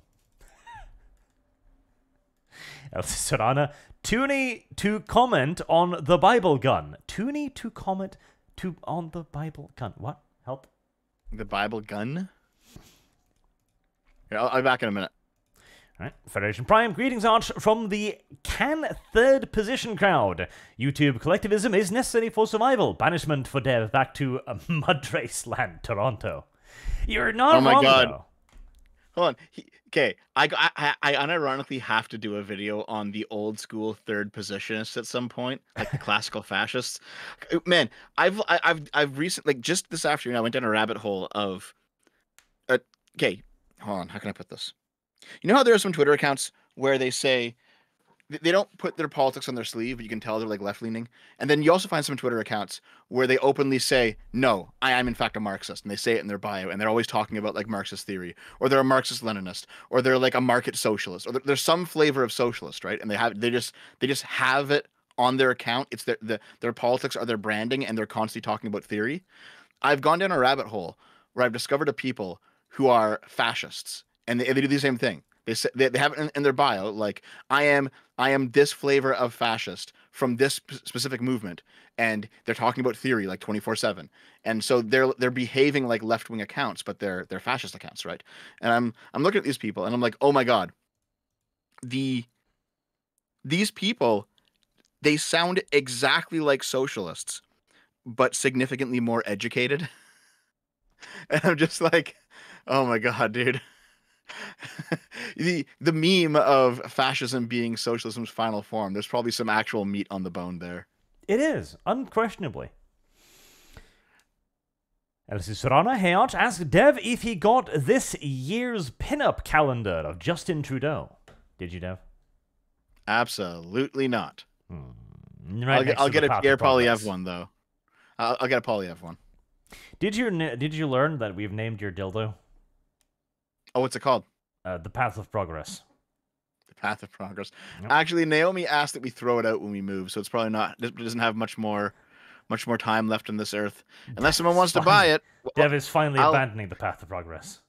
Listen, I'll I'll sign it for you if you want to buy it, Chad. Boog offered Just to buy it know. for like twenty pesos, I think. Okay. You know what? Actually, no, that won't even cover shipping. Fuck you, Boog. Okay, Boog, if you're willing to cover shipping.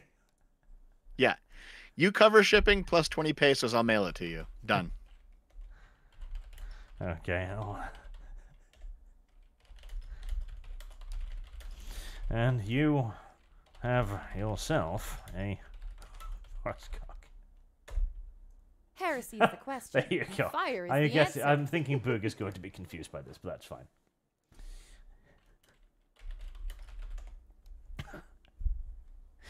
Why, Hayden says, Hey Lot, how did you meet the Fat Maple Leaf? I just finished painting my Predator Annihilator model today. Oh, I met him when he. I, I messaged him about the Total Biscuit video he did, and he said to me, Arch, we've met. You know who I am. That's how I met Dev. it was one of the more awkward encounters I've had, as apparently I'd forgotten about meeting Dev at some point. Which happens to me quite frequently, incidentally. I forget people easily. As if I aren't, I don't even want these right-wing grifters on our side to begin with. Also, Dev, you're a left-wing straightist communist that drags everyone towards communism, while saying communism has never been tried. He might be. He could be. No, I am not. Also, um, Arch, I think we first cross crossed paths like sometime after Gamergate. It was like 2015. I was hold on, let me look it up real quick. Uh, shit. He's delving back into his archive to figure out. Yeah, I, I did actually. I did. Were you part of the SPJ Airplay Gamergate event?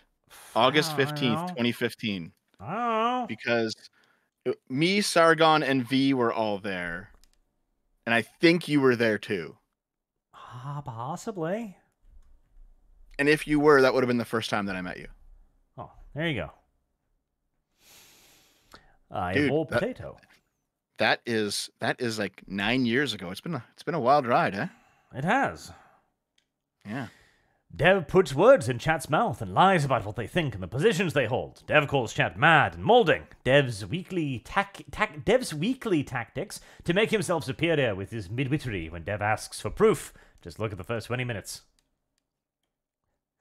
See, the problem is, Dev, you're arguing with the Hydra here. Even if you manage to get one of its heads, another one will bite you. This is why chat is God. Chat determines what is and is not real. Simple as. It's a, a position that has served me very well so far. Uh, Lucky Loser, just want to say how gay I find the way Dev runs his new Discord, and what's with the subscriber only chat? Dev, are you monetizing your supporters again? I take that as tacit yes.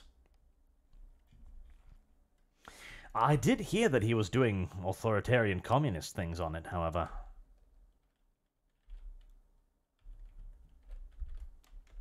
Service guarantees citizenship. Yep, no opposition. He's definitely is. Mark Chain, one of the 67 fired from Boeing for inappropriate comments. If I am found dead, just know that it wasn't me. That's true. Mark the Same did uh, get fired from Boeing for inappropriate comments, and they are looking into why more of their um, their aircrafts are currently falling apart. Which, see, on the one hand, yes, they, it's probably a little bit mountain out of molehill here, in that there aren't that many accidents, considering the sheer quantity of aerial departures every single day. I am sure it is a vanishingly small percentage of them which actually take off without bits Fire and pieces attached to the aircraft. But the fact that it is happening as frequently as it does happen, and the fact that the companies themselves are actually bragging about the fact that they have diversity initiatives, does make one a little bit suspicious, doesn't it? Well, just like, just a tiny, tiny, tiny, tiny bit.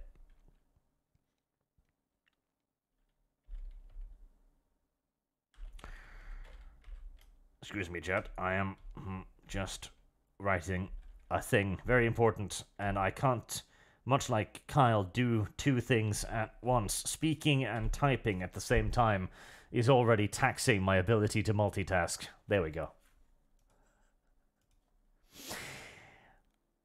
Uh, Mustang 21. Don't forget the CI CI meme department thing as well. Oh, that's right. They did actually set up a meme department to try and combat extremism online. Lord Metalman, you watched? Did you see the new Dead by Daylight character and the meltdown its voice actor had after finding out what they voiced? P.S. The VA is trans. Yes, I did see that, actually. Let's see, uh, I believe. Oh, so while I was gone, there was a question about my uh, Statism? about my Discord server. Yes, I had to purge all the glowies. Sorry, sorry, I had to purge all the glowies. And also, it's not donator only to get in. If you donate money, you can get in. But also, if you're a good person, I'll just let you in. There you go. If you're a good person, they'll let you in. Yep. Every day I go down to the sewer chat, and if people are talking, I'll I'll see what they've been talking about. And if they seem like glowies, I don't let them in. If they if they if they seem like not glowies, then I do let them in. I'm gatekeeping, chat. You should appreciate this. Gatekeeping is kind of good. It is true. And yes, this was the uh, the trans monster, the uh, shapeshifter or whatever. Oh my god, it's so fucking funny, dude. The, did you see that uh, the voice actress has now like reneged and said that she wants trans reparations from the company? Yep, she wants reparations on behalf of uh, the the uh, the character she voiced. Fucking ridiculous, dude. That was a thing. That was actually unironically a thing. And I mean, the character does look unbelievably bad from her position, so. Mm-hmm. Mm. Who knows? Like, it, it looks genuinely ter- terrible, like this twisted monstrosity. Oh, you you kind of do have to raise a question mark. Like, what did Service the developers mean by this? Oh, I don't, I don't know. Hold on, real quick. Is someone in the chat? Yeah, Jafar says my my Discord is now an echo chamber for me. No, it's not actually. You can you can still criticize me. Go ahead. All right. However, there are people who are criticizing me, and what what the criticism is is they're like leaking shit to people that they know actually have it out for me or they're they're like shitting on other people in the discord and trying to start fights they're going into voice chats and starting fights they're fighting with my fucking moderators all right they're they're they're turning around like was like, listen, this is, and then and then when I go into to ban them, they say, "Oh my God, Dev's banning criticism." It's like, no, I'm not. I'm not banning criticism. I'm banning you shitting up my community. You can criticize me all you want. All right. I don't want it to be an echo chamber. Listen, here, let me put it this way. If I was banning criticism, I would not invite um, Artemis into the server. Because all Artemis does is criticize me, but he's welcome to come in. So no, I'm I'm I am taking a full on stand regarding uh regarding banning glowies and banning shit stirs, but I'm not banning criticism. No. You let Artemis onto your server? That's weird. And to be honest, Arch, you know, all jokes aside, you know. Oh, you're back, Arch. Welcome back. I am. Your sound cut out So- for a second. Go on. Yeah, basically, Arch, you know, any content creator knows this. You know this. I know Sargon knows this. I've had to learn this the hard way. There's a big difference between someone who's criticizing you and then someone who's actively making your community shitter, uh, shittier, and then hiding their actions by saying it's criticism. Sure. It does happen. Yep.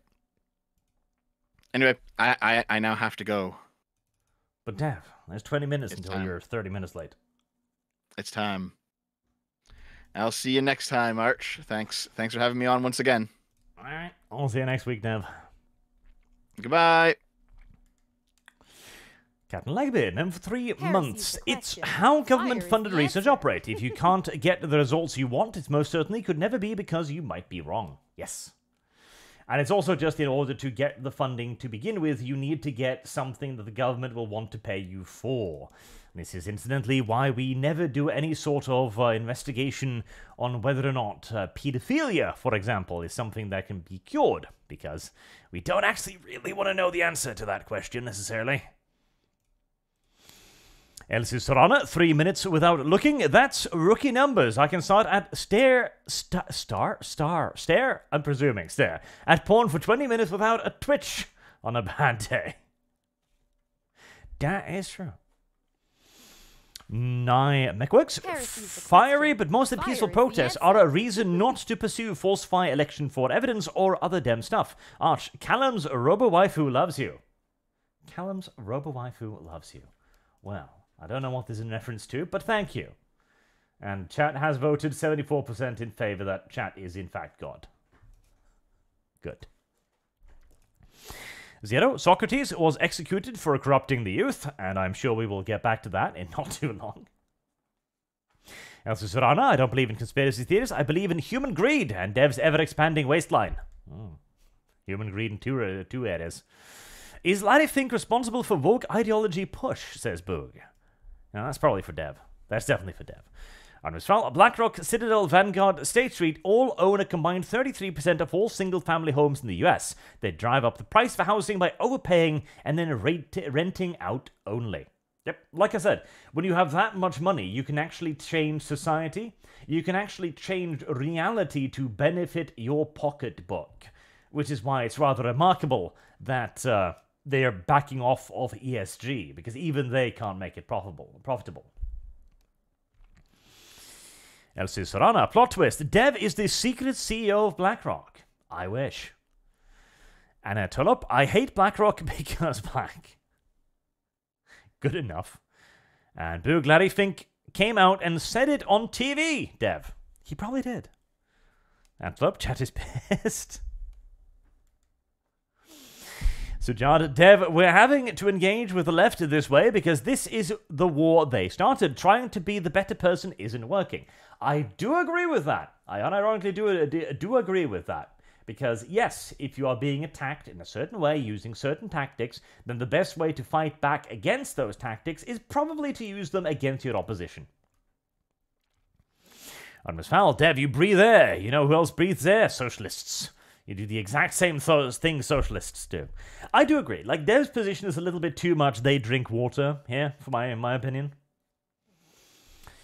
Boog, they started saying it in front of cameras. Dot webom. Elsrana, difference between Dev and chat is that chat is right. See? I told you, chat is right. Thus, you should listen to chat. Which is, uh, again, chat, chat is right. Chat is right to most things. Terrifies to most things. Ooh. What is this? Uwu.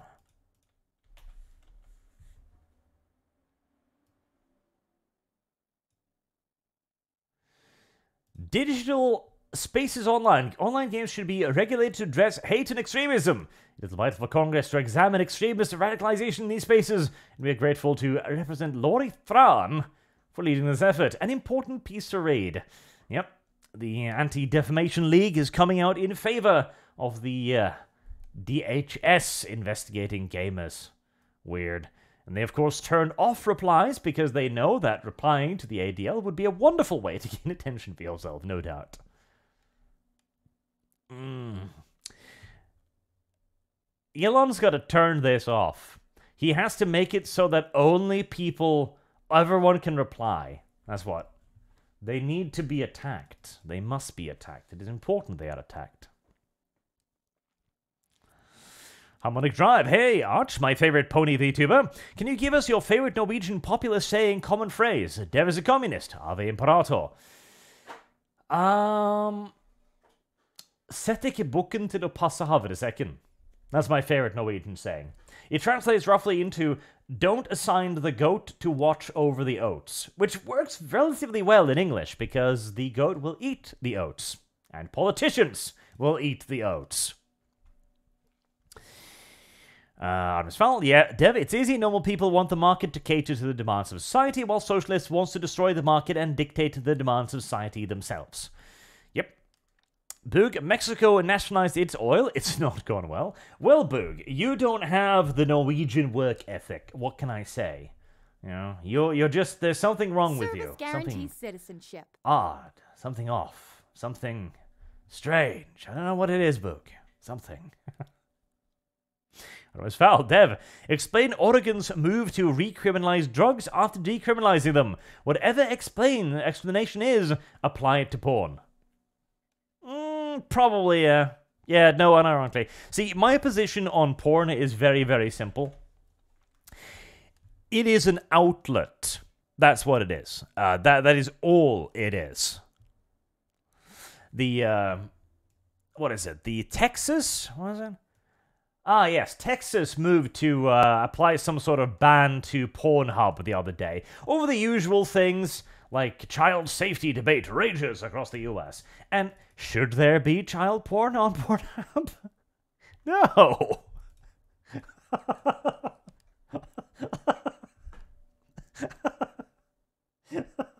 it's, it's like it's not really it's not really a, a point to bring up, frankly. Like no, but nobody seems to be in the pro position here, and yet we keep pushing this to regulate the sites more and more and more and more, using the same fucking argument. Clearly, this isn't really the problem we're pushing at. I I, th- I think we- I think we can come up with a Heresy's more subtle question. solution to this problem because porn is simply an outlet. The male of the human species is biologically engineered to need to coom on and in absolutely fucking everything every 48 hours or so. If you deny them access to this ability, they'll get uppity and rowdy. And so, porn, for all of its degenerate and dangerous and damaging consequences on society, is the lesser of the two evils, quite simply put. Dr. Smith, there's a problem in our modern society, which is that we haven't clearly stated that corporations can only Service exist for the good of the public. Well, the problem then is who defines good of the public? Uh, I am not a capitalist. He says further, I'm not a socialist. I'm a citizen. I believe that everything within the state should be for the good of the citizen, Heresy's the question. Mm, now define Fire citizen. is the answer. which the US, I believe, has defined as everyone on the earth. Uh, Britain has. Britain said that um, their healthcare was open to everyone in Britain. Everyone in Britain. Not every British person, everyone in Britain. So as long as you get it get to Britain, British healthcare is open to you. Shadow Fox 2300. Matt does some good stuff, but man, that dude needs to just sit the fuck out of this one. He is just making an easy target. Correct. Like the What is a Woman was an excellent documentary. Excellent documentary. Antelope, Matt Walsh is the tarred conservative of yesteryears in many ways. Absolutely conservative Christian. And I do believe he believed that things that he believes. He believes that Sky Daddy is watching over him and more power to him. But I don't. So, mm. there are many valuable lessons to be learned from Sky Daddy, but we should not take all of them quite so thoroughly to heart. Slava Buga. Daily Wire is supposed is suspected of controlled opposition, upholding the boomer truth regime, steering the narrative from wandering into uncomfortable areas and instead going after low fruit like a woke ideology. Hmm, who knows? And as Lope, when your side does something wrong, that doesn't automatically mean they are feds or it's controlled opposition or that it's fake. Be better. That's true too. They might simply be targeted. Mercenary X21. It's called Problem Reaction Solution Dev. Look it up. Yep, create problem, benefit from the reaction, provide solution. Boo! Compelling argument, Leaf. Now face the wall. Dev will be the first to be executed for his socialist ways, it is true. No one says BlackRock, Vanguard, State Street, etc. got so large because of regulated pension funds. This concentration of money is not natural. I agree. In fact, this is the failure of government. Like, government should never allow corporations to grow this large. I don't know what the exact size is that we should allow, but there is absolutely a point at which corporations should just be told, mm, no, you have too much money. Um, you're going to be two companies now. Simple as. Uslis, you should not change us. Flag hunting trolling during Gamergate. It is was fun. Uh, the problem is the damage it does. Mark Champ T series was the end of YouTubers. I would actually agree. Yeah, no, it, it was. See, right now. All right, let me sidetrack this for a second here. Um.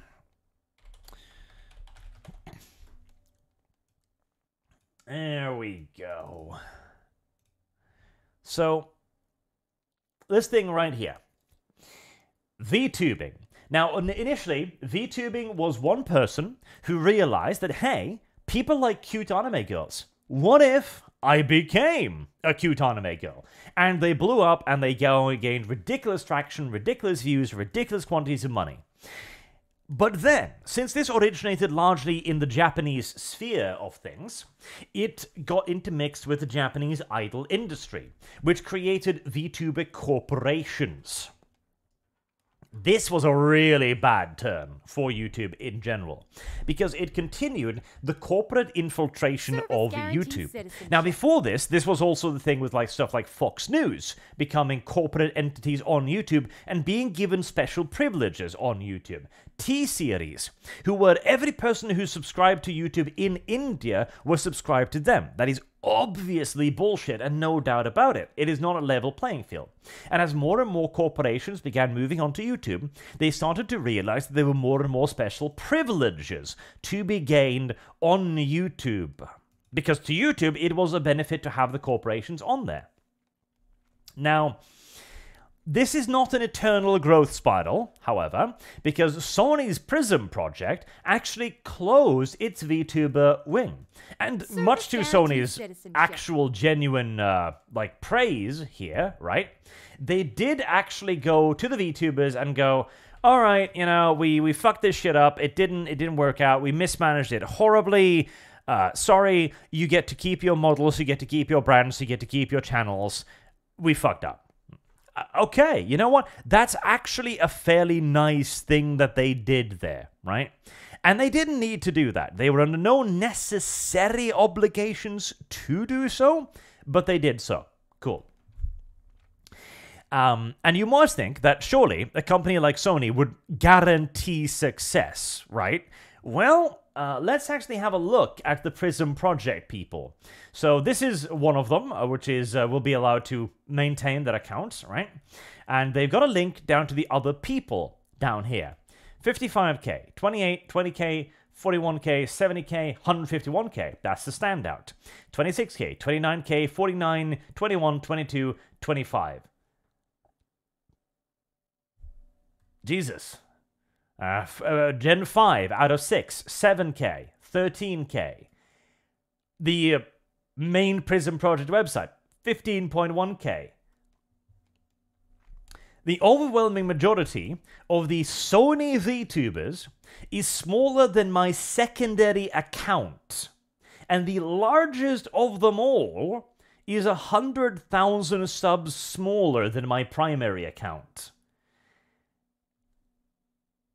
I I don't even know how the fuck they managed this, honestly, because it's Sony. My, can you imagine the amount of money they must have had? The, the access they had access to the Sony music library. The amount of covers that these people could have done, official, proper, premium covers with production, with the voice acting, with the singing, with studios, with agents, with contacts to YouTube. How the fuck did they mess this up? It's actually kind of incredible. Right? Something remarkable happened here, didn't it? And now, in large part, I think this is because the VTuber sphere is just so fucking flooded right now. It's ridiculous. Like, the competition is so stiff that even Sony didn't manage to get into it. Which is pretty goddamn terrifying. Archcast is secondary? Oh yeah, no, no. Um, here. Uh, this this is this is my my primary channel, the lore channel. Two hundred seventy five thousand subscribers. Did you not know about this? you know, th- this is my main channel. This is uh, my my bread and butter kind of style thing, right? This is the one I've been doing for years and years and years and years, uh, which I eventually moved all of the commentary content over onto the Archcast. But yeah, like Sony managed to fuck up entering the corporate YouTube sphere. Which is kind of nice. You know, it cuz it means that we're not all necessarily going to be replaced by this. The corporations aren't an automatic win that will just swoop on in and wipe out the entire competition of the face of the earth. You know? I, I'm I'm kind of happy by it uh, by it honestly, even though it is also going to be an even worse position for everybody else, right? If you're going to try and start a YouTube channel today, God fucking help you. God fucking help you. I mean, if Sony can't do it, what makes you think you can? Is is kind of the kind of the way you've got to think. And yet at the same time, you can't think like that either. Like, YouTube is just a thing you have to start doing and then roll with it. And you need to set a pace where you can just keep rolling with it for the long term, trying to see where you can go with it, right? And some people will never get anywhere. And this is also why we need to redefine success on YouTube. As far as I'm concerned, if you can manage to feed yourself off YouTube, you are a successful YouTuber. And that, that's the end of the day. You don't need to be PewDiePie. Not every YouTuber needs to be Markiplier. Not every YouTuber needs to be Jacksepticeye. Merely being able to live of it makes you a success in the YouTube sphere. And even that is like 0 point something percent. I swear to God, like my um my cousin's kids are like, "Wow, you're a YouTuber. I want to be a YouTuber too." And I just, no, you don't. I have been actively discouraging them the at every Fire's single solitary fucking turn. I. But yeah, um, if Sony can't do it, what makes you think you can? that sounds so so assholeish, but it is also kind of true. Mm. Ah, Jesus. How did we get here? Um, I don't know, but let's return to Associate Bob whilst I go back to the uh the super chats. Uh, Ms. Fowl, Gamergate destroyed native advertisement. Yep, in large part. Dreyfie, everything is racist, everything is sexist, everything is homophobic, and you have to call it all out from a woman who just had a pseudo wedding. Anita Sarkeesian, her undying quote. Elsa Serrana, I watch Arch for recommendations on Norwegian escorts. Need to know for my vacation. Unfortunately, actually, no, that's right. Okay, so I was about to say uh, prostitution is illegal in Norway, but then I can't court myself. That's not actually true. It is entirely Ill- entirely legal in Norway for a woman to sell sex. That is legal. You, you, you it's okay to be a whore. You are you are legally allowed by the Norwegian government to be a whore. But you are not allowed as a Norwegian to purchase sex. That is illegal. Fire is the answer. And you know why? it's because back in the day it was illegal to sell sex, which meant that when the police came, they would arrest the woman and not the man. And then feminism arrived and said, Well, this isn't very fair. You should arrest the man and not the woman. And nobody looked at that and thought to themselves, Hold on a second. Haven't we just reversed the standard? Have we not just created the exact same problem, but in the reverse? Service guarantees citizenship. Oh, fuck me. Uh, yeah, that's, uh, that's legislation for you. Mr. Twisted Frenzy, the Spiffing Brit is fun to watch exploit games, but I suppose that doesn't really count as reviewing it. Uh, no, I guess. Uh, El Susrana, who are Biscuit and Spoony? Also, is Dev a real boy or just an abandoned AI experiment? Gone wrong. TB, Total Biscuit, a best game reviewer that ever was, uh, died several years ago now from cancer. God rest his soul, he was the best of us and the worst of us in so many ways. And Spoony was the funniest man on the internet until he elected to go actually legitimately institutionally insane. Not not as in like oh you crazy, as in we the jury find the defendant insane. All right? Oh god help me. Uh, Miniminus, any Ratten Reich news? Last I heard, they had bungled their Steamfest demo. I know that. And they actually withdrew it. Uh, so I'm hoping they'll be able to fix it. We'll see, I guess. I didn't even get a chance to test it before they it, uh, pulled it down. Mark James, even board game reviews have gone down. It's like no one is making new games because woke will burn anything that isn't progressive. And Lootbox was the beginning of the fall of gaming, he says. Yeah, large part. And I mean, that's the problem too. Okay, if you're going to be a gaming news channel, you kind of have to do like hype around games, right? Uh, and how the fuck are you going to do that? What is there to be hyped about necessarily? Exactly. Like, what are you going to do? You know, it's like, oh, this game looks good. It's just made by a bunch of wokies tards. Um, get excited, I guess. Zero Maple Story. Maple Story. It's a video game, I think. I don't know. Is it? I think so. Yes, I'm correct. It's a video game. It looks very Chinese, though. I don't know if I like it. Alex Adamson. I love 15 seconds unskippable ads every 10 minutes. Well, it's only every 30 minutes. And it's 15 minutes unskippable ads.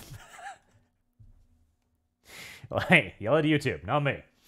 Contra Dim. Walsh is a midwit, which means middling, maybe upper middle intelligent, and seriously overconfident in his knowledge, with lots of bad takes.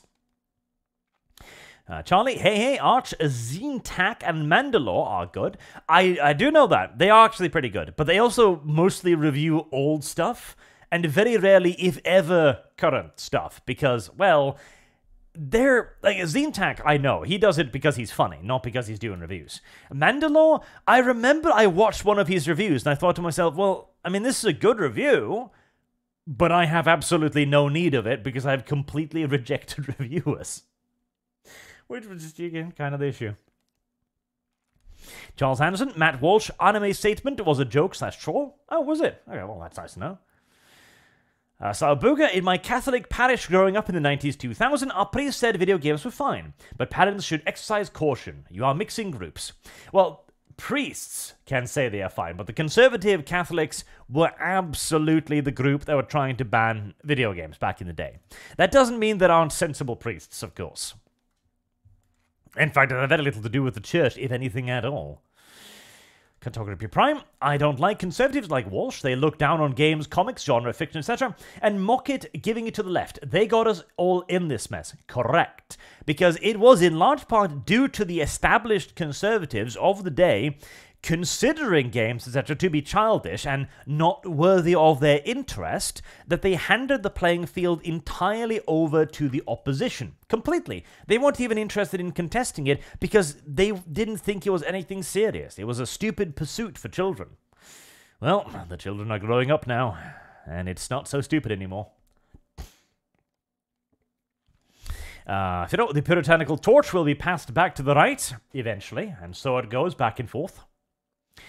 Uh, Rage of Mohawk Thoughts just started in 30 second in, and Dev picks a fight with the audience.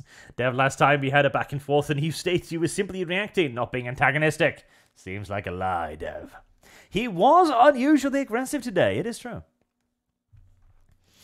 Mr. Twisted Frenzy. Five months after release, and Realms of Ruin is now on sale at 17.49. Even for a sale, that is quite the drop off. Tell me, Art, is Realms of Ruin even worth 17.49?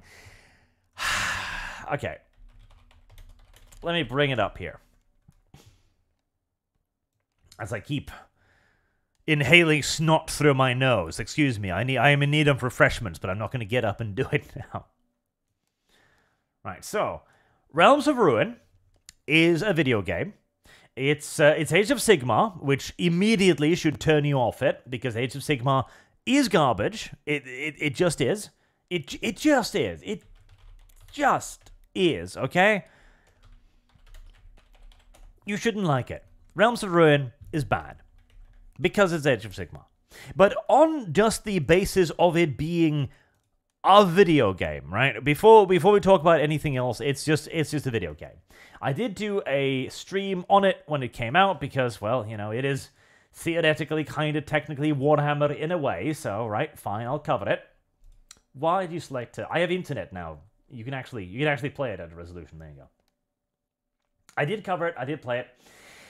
It's got some cute ideas. Actually, I think I lose this game. Let's not watch. Let's not watch this. Let's me. Let's play a. Let's watch a game I win. Yes. It's got some good ideas. It uh, it's, it genuinely actually does have some good ideas. The idea that units kind of lock each other down on the battlefield, I think, is sort of neat.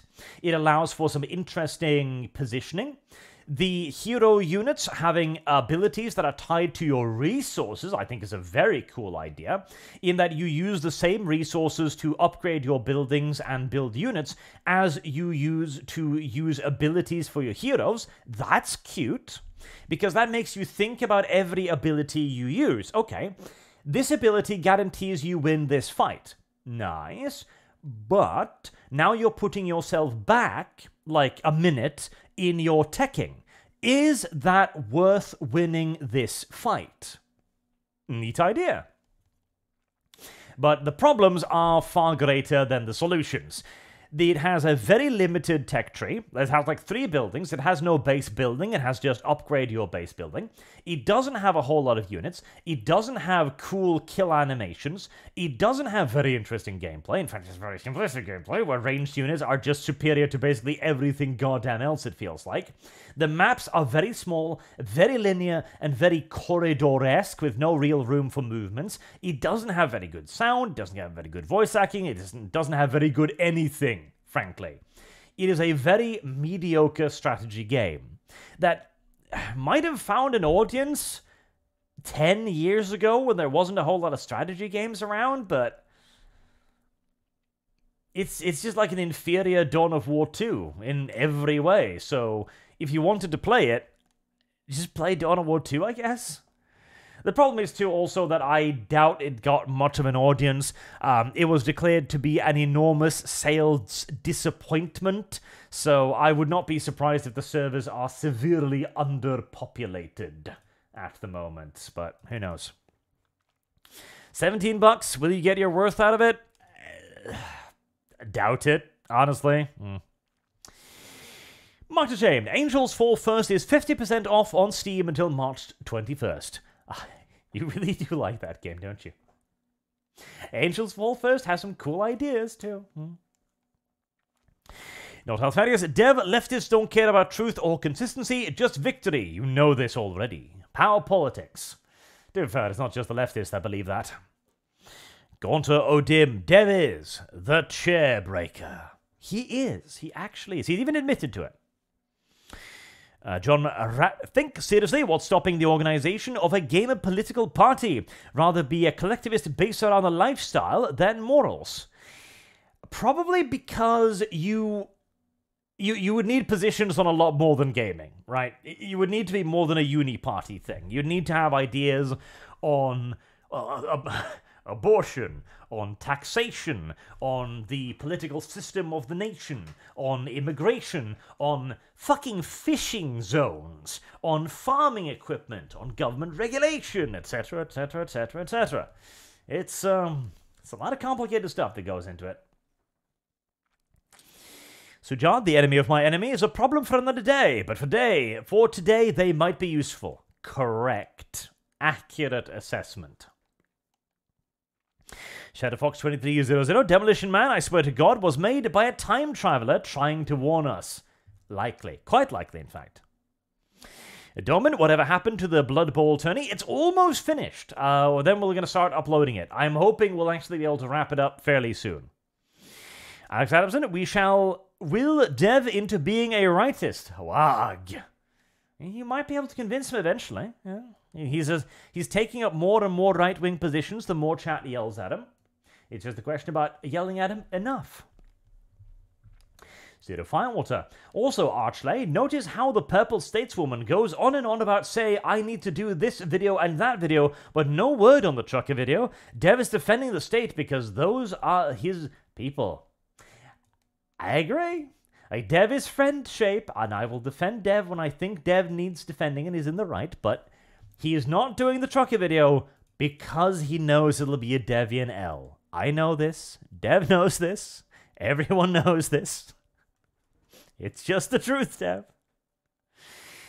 The dicta- the Dr. Topo, Dev, do you like Javier Milei, or is he too much right wing for your flavor? Is that the um? Is that the Argentinian? Uh, is that the Argentinian guy? Let me Google him real quick. It is the Argentinian guy. Yes, it is the Argentinian guy.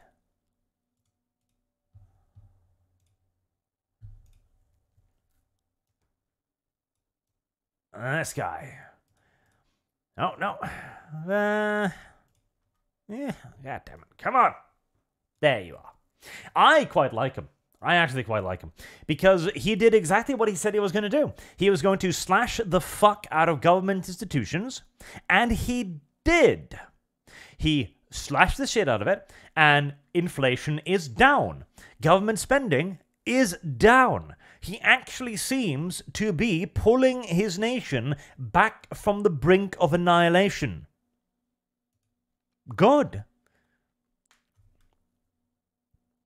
I think he's doing the right thing, and I hope he continues to doing the right thing.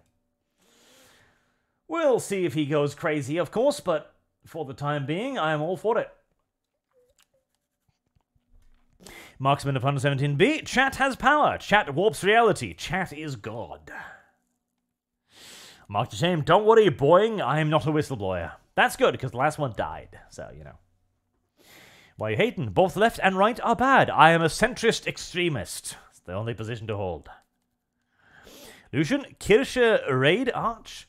Well, Dev's payment for these uh, are Dev raids, so Dev must be raided. Guy under bridge, you uh, may have not liked Ruby, but Ironwood was a textbook example of a villain who had every right to put Ruby and her team in a gulag to starve. Well, that sounds good, I admit. Psycho Star. BlackRock and Corpos got so ego- egotistical that they took the foundation of their money and power for granted. Brand loyalty and PR can only last so long. Correct. Doman, Ruby Gain Dead. It is. It is all of those things. Dreyfy, regarding the moral panic in the 90s with music and video games, I am sure Christians were a large part, but wasn't one of the spearheads of it Al Gore's wife, who had it out with Twisted Sisters. I Service think so, but it, it's been too long to the point where I can't even remember all of that anymore. Elsie Serrano, I believe in Sky Daddy for the God Emperor. Good. The Dr. Topo, no game, no games, no movies, and now no VTubers. Listen, we're going to enter into a period where you're gonna have to get all of your entertainment from the 2000s, okay? You're you're gonna you're gonna have to just go back in time, all right?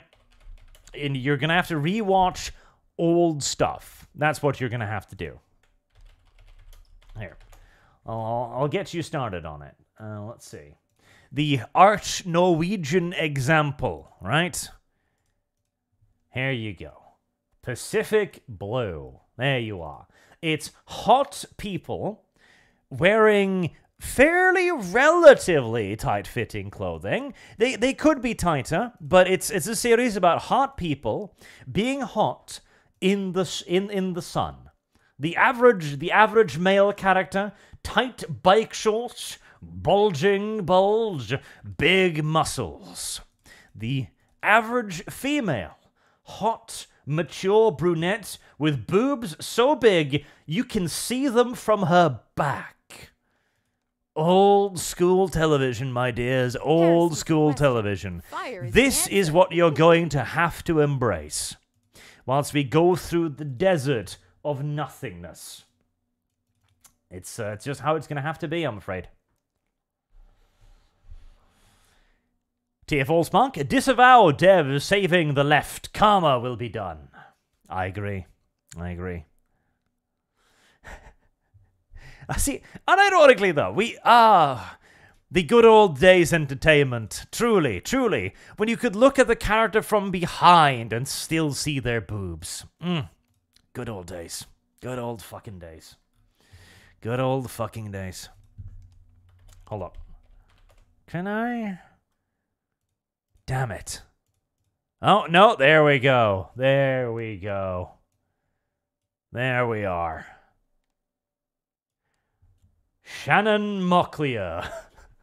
the woman who started puberty for about 99% of teenagers in Norway, I do believe. I wonder if this is too risque for YouTube. I hope not. We'll see. TF Allspark, disavow dev, saving the left. All right. An anime document, super straight flag is the Pornhub logo colors. It's a good point out. At I want to see White Mountain Monkey Arch VTuber. Ah, well, you're gonna have to pay me a lot for that. What can I say? It's not gonna be not gonna be cheap.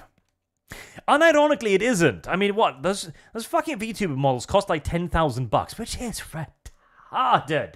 Incidentally. Uh, Sujad still playing Helldivers 2? Mm, yeah, but basically only along with uh, with Kibbs and the rest of the retards. It's it's too popular, okay? And it wasn't a Power Wash stream. See, I finished Power Wash because you weirdos watched it like mad, and I was like, okay, well, um, I guess I'm gonna have to start looking into playing dumb stream uh, bait video games now because it's very popular. But uh, Helldivers wasn't as popular. Hmm, what can I say? Lord Commissar Spartan, speaking of recommendations, a game that's a game I saw that might tickle your waifu senses is Cavalry Girls. Top-down mecha shooter with base management is neat. Cavalry Girls. Save 20% on Cavalry Girls on Steam.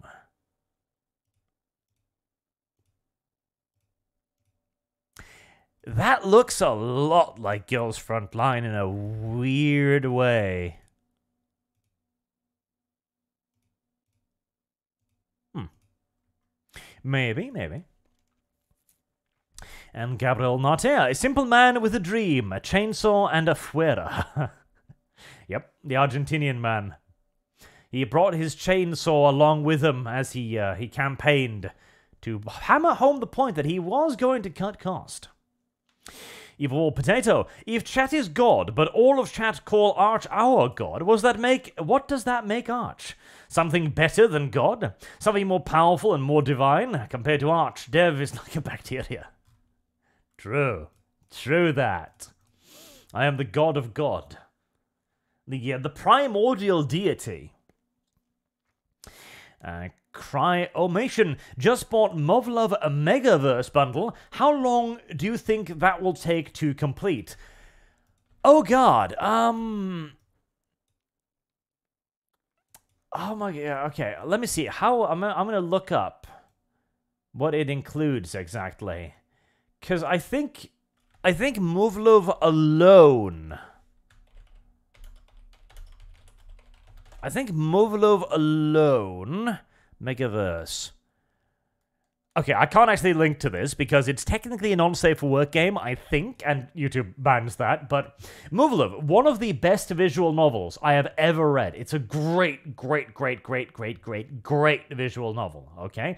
I heartily recommend it. I really, really do. It's an incredible read, and then there's also Alternative, um, which is, like, Muv-Luv and Muv-Luv Alternative. Muv-Luv is like a hundred hours long.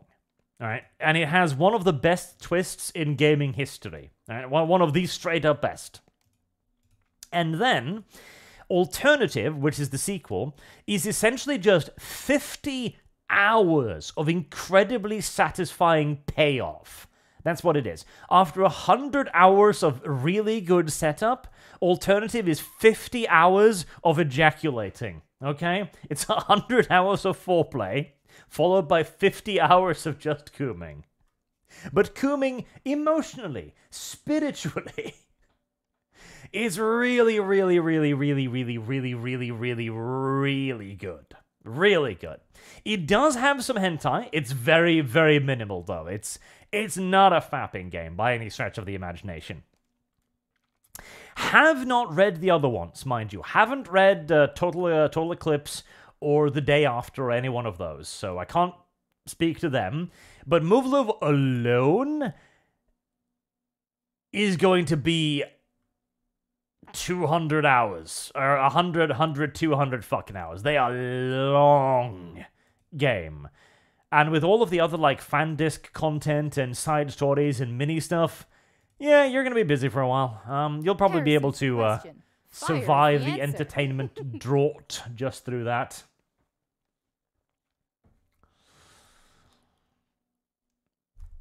just through that alone. Uh, Sujan, look out for Era 1. Era, Era 1. Era 1? Era 1. Era 1? Era 1. Steam. Is an innovative space game that combines element of real-time strategy, base building, space survival, and tactical battles. That does sound pretty cute. Run various bound fleets and engage in tactical space battles. That does sound pretty cute, yeah. Six months. Alright. I will add that to my uh, to my wish list because that does sound pretty cute. And follow.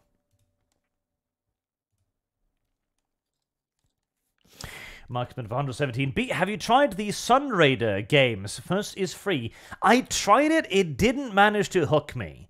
And with visual novels, I gotta get hooked in fairly early, otherwise I lose interest. And no one hearing you ramble whilst power washing was great. I don't know about that. I feel like it wasn't. But now I'm going to have to play other dumb streamer games to see if I can recreate the phenomenon guarantees citizenship. Uh, seriously though, 2000 entertainment. It was it was a it was such a different era. It was such a different era. So let me bring this back to My Little Pony, of course. because I've finished the research now and I can get started on the uh, the April's Fool's Law video for MLP. and my god, the the difference between here, l- let me replace the hot blonde woman in her skimpy clothing with a bunch of horses. I'm sure you won't mind. The original MLP, it is effeminate as fuck, and it is blue eyed and naive to the point that only a cartoon for little girls could possibly be. It is filled with flaws. But compared to the current day iteration, Jesus, it's art. It, fuck. I had to watch a bit of the new one because there's like because there's some major plot points that happens over this thing that is uh, quite retarded. Jesus, animation quality, music, singing, voice acting, storyline, plot, mini episode, characters. Everything is a straight downgrade. It is as if when we left like 2010, 12, etc., we just forgot what entertainment was. Heresy's the We simply just Fire blanked on all of it. We completely forgot what entertainment was. All of it. Every single lesson. Every tried, true, and tested ideal of, of beauty, of storytelling, of lessons, of morals. All of it just poof, disappeared. And we entered into a realm of just soulless, dead, cringe, fuck off knockoffs. Ugh. It is it is startling to watch. Because again, for all of the flaws of My Little Pony, it is so much better than the next generation. It is hilarious. Like it is cold water dunked in your face like shocking. Where you go from one thing and then you watch the other and you go, wow, this is so much worse. God help me. God fucking help me. God help me indeed. Let's go back to the hot blonde woman. There you go. Much better. Much better. Especially like it's particularly jarring because it's it's the same show, right? It's the same style with the, the little ponies. It's kind of got the same ideas, like friendship is magic, blah blah blah. And you just see the qualitative decrease. And it is I wish there was another example. I wish we had like Buffy and then modern Buffy so that you could watch them side by side and just be like, my Jesus, what happened? Uh, Zero Arch, tell the Zoomers about early 2000 games. Wow. See, the easiest way to disprove uh, Dev's ludicrous assertion that 2000 wasn't the best gaming year in all of video gaming is to literally just like bring up the list, right? And suddenly you're looking at The Sims, which is one of the biggest video games ever, and was a really cool idea at the time. These days it's just gay things for women, but the original idea, great. Deus Ex, the single best RPG ever created, bar none. Diablo 2, the best action RPG ever created, bar none. You've got Tony Hawk's Pro Skater 2, an excellent game in its own right, okay? Uh, you even got a release for Final Fantasy. You've got Majora's Mask for the fucking disgusting Nintendo clocks, right? You've got Sacrifice. Uh, where is it? Oh god, where is Sacrifice? There's Sacrifice. There's Sacrifice. The best video game ever made Service is Sacrifice. It is the single best video game ever created. It is the best strategy game by a mile, and it, it, it is the best game. It is the the best game ever. The singularly finest video game achievement that nothing will ever top. Counter Strike, another one of the most popular fucking games ever. Thief 2, another very popular game. Age of Empires 2, the Conqueror's expansion, another excellent expansion. Like, the entire year of 2000 was just hit after hit after hit after hit after hit. And they weren't just hits either, they were industry defining hits, right? Service guarantees citizenship. they they were the titles that the entire genres would be defined by forever. That was the year 2000.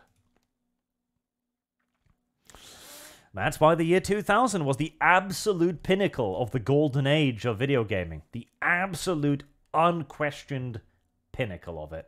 No question, no doubt. No doubt in my mind.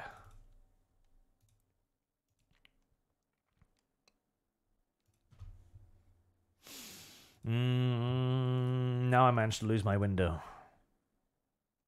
How does one achieve this? Uh, honor. 20 bucks for a live art reaction of Dragon Saints, a Godsman Life animated music video.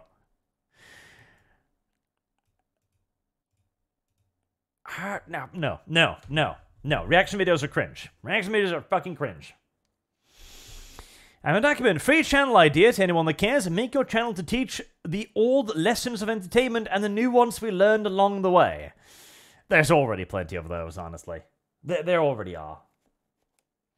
Uh, Alex Adamson, I watched the Muv-Luv anime. It was pretty damn good. I've heard the anime is good. I watched a couple of them. I had refused to watch the um, the actual Muv-Luv anime. I have only watched the other retellings because I do not want to, the memory of Move to even to even potentially be solid in my mind. And Zero Final Water Ironwood was a good counter, but was done dirty. Also, more Power Wash Simulator. The conversations were great. I cannot believe they were not demonetized. I taught, okay. At the beginning of the third Power Wash stream, I was hungry, but I didn't realize I was hungry. So I sat down thinking, I'll be fine. I'll start playing and I'll have a snack afterwards, right? And then my brain just started short circuiting. And I start talking about the most retarded shit. And at some point, I'm, think- I'm, I'm there like, you know, monkeys have really powerful grip strength, and that would probably make them really good at giving hand jobs. But then I start thinking, but monkeys also have really good grip strength, and monkeys are dumb. So probably, if a monkey were to try to jerk you off, it wouldn't actually jerk you off. It would just grab your dick and go, ooh, ooh, and crush your penis. So maybe monkeys aren't very good at having hand jobs. And I think I discussed this for about 30 fucking minutes until realizing I'm hungry. I need I need sugar to stop. I must cease. And despite that, that that video is still monetized. None of my Archcast videos ever get monetized, but that shit gets fucking monetized. YouTube looks at that and nods its head. He brings up some excellent points there. Maybe we shouldn't train monkeys to jerk people off. Maybe there's a lawsuit in there somewhere. I talked about the, the DC horse brothel that got shut down because it fucking killed a guy because horse conks aren't actually very sensitive. You know, they're they're not good for that kind of use because they are actually rather dangerous because your internal organs don't actually react well to being rammed by an enormous fucking dick. YouTube doesn't care. YouTube is fine with all of this. All of this is all of this is okay for YouTube. Not a problem. I even explained my rationale why you can't teach the monkey to just jerk you off gently, because a monkey doesn't understand any of this. I used the banana explanation. Ah. I think maybe what we need to do is just like have a random noise in the background. I think that was what saved me. Since there was the constant brrrr of the power washer, YouTube couldn't actually scan my words as correctly anymore, and so it didn't hear anything. It, it didn't hear about the DC horse brothel. It didn't hear about the monkey dick. It heard about none of that whatsoever. And just monetized me. So maybe that's what I'm going to do from now on. Just load up Farm Sim, make sure I'm nice and hungry at the beginning, and go on. And yes, Art is getting a little bit hungry now, actually. You're correct, chat. I am getting a little bit peckish. I notice I I would probably not do well in a survival situation, I've come to realize, because the hungrier I get, the faster I seem to burn energy speaking. Hmm, Hello. not ideal. Hello, V. Busting through super chats. Yep, I've just basically finished. Oh, I wanted to keep you company because I know you hate doing them alone, and Dev usually goes take a shit by the end of the stream. Yep, Dev left to do his, uh, his own stream. Thank you for the sentiment, though, but we are just about finished. Ah. How is Do- your Do you want to point an interesting observation about Boogie? Uh, he's fat. No, no, no. You know, you know what he says um, that he doesn't like um, the fact that games are saying white people bad, right? Yep. You know they're doing the exact same shit um, we went through in 2014 when you would say that we just don't want video games to be political. And instead of like them going after the spirit of what we're saying, instead of actually going to what we mean by that, they, they will do this word analysis where, where they will say, but what is political, right? Like The Witcher is political. And if The Witcher is political, then we can have a video game where uh, the white MAGA guy just beats up a kid and says that we need to build a wall and all that shit. This is exactly what they're doing now. It's like th- they're not saying, um, like when they're asking, it's like, can you give me an example of a game where the white person is bad? You're not going to find a video game where you have like a character go up on a podium and say, uh, all, all white people are bad. But you're going to see like all these developers just talk about how they don't want to hire white people or talk about how it's a problem because the main character is white or remove mods that make a character white but promote mods that make all characters black. Yep. And uh, Dev did actually manage to find an example of that. Uh, the my this land is my land, where you play as the Heresy's the Indians and white man bad. Fire is the answer. Yeah. And no, And- yeah, you are entirely correct too, because they're gonna maliciously interpret it. Are you saying that all video games are white man bad? That's ridiculous. And yes, yes, when you build that straw man, it is indeed Service ridiculous. guarantees But everyone else knows what Boogie meant. But the problem is, Boogie doesn't have a following of gamers anymore.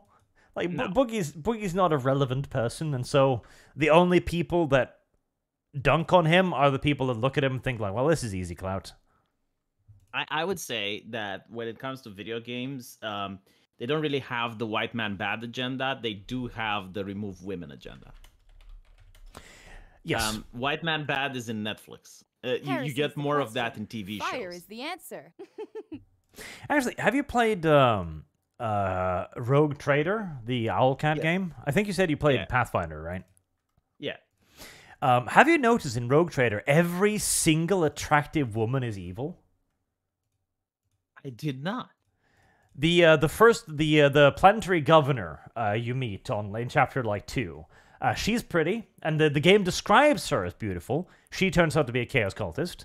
Um, another character, don't, really- don't spoil me. Don't spoil me. Don't spoil me. Okay. Yeah, but I get but it. yes, Yeah.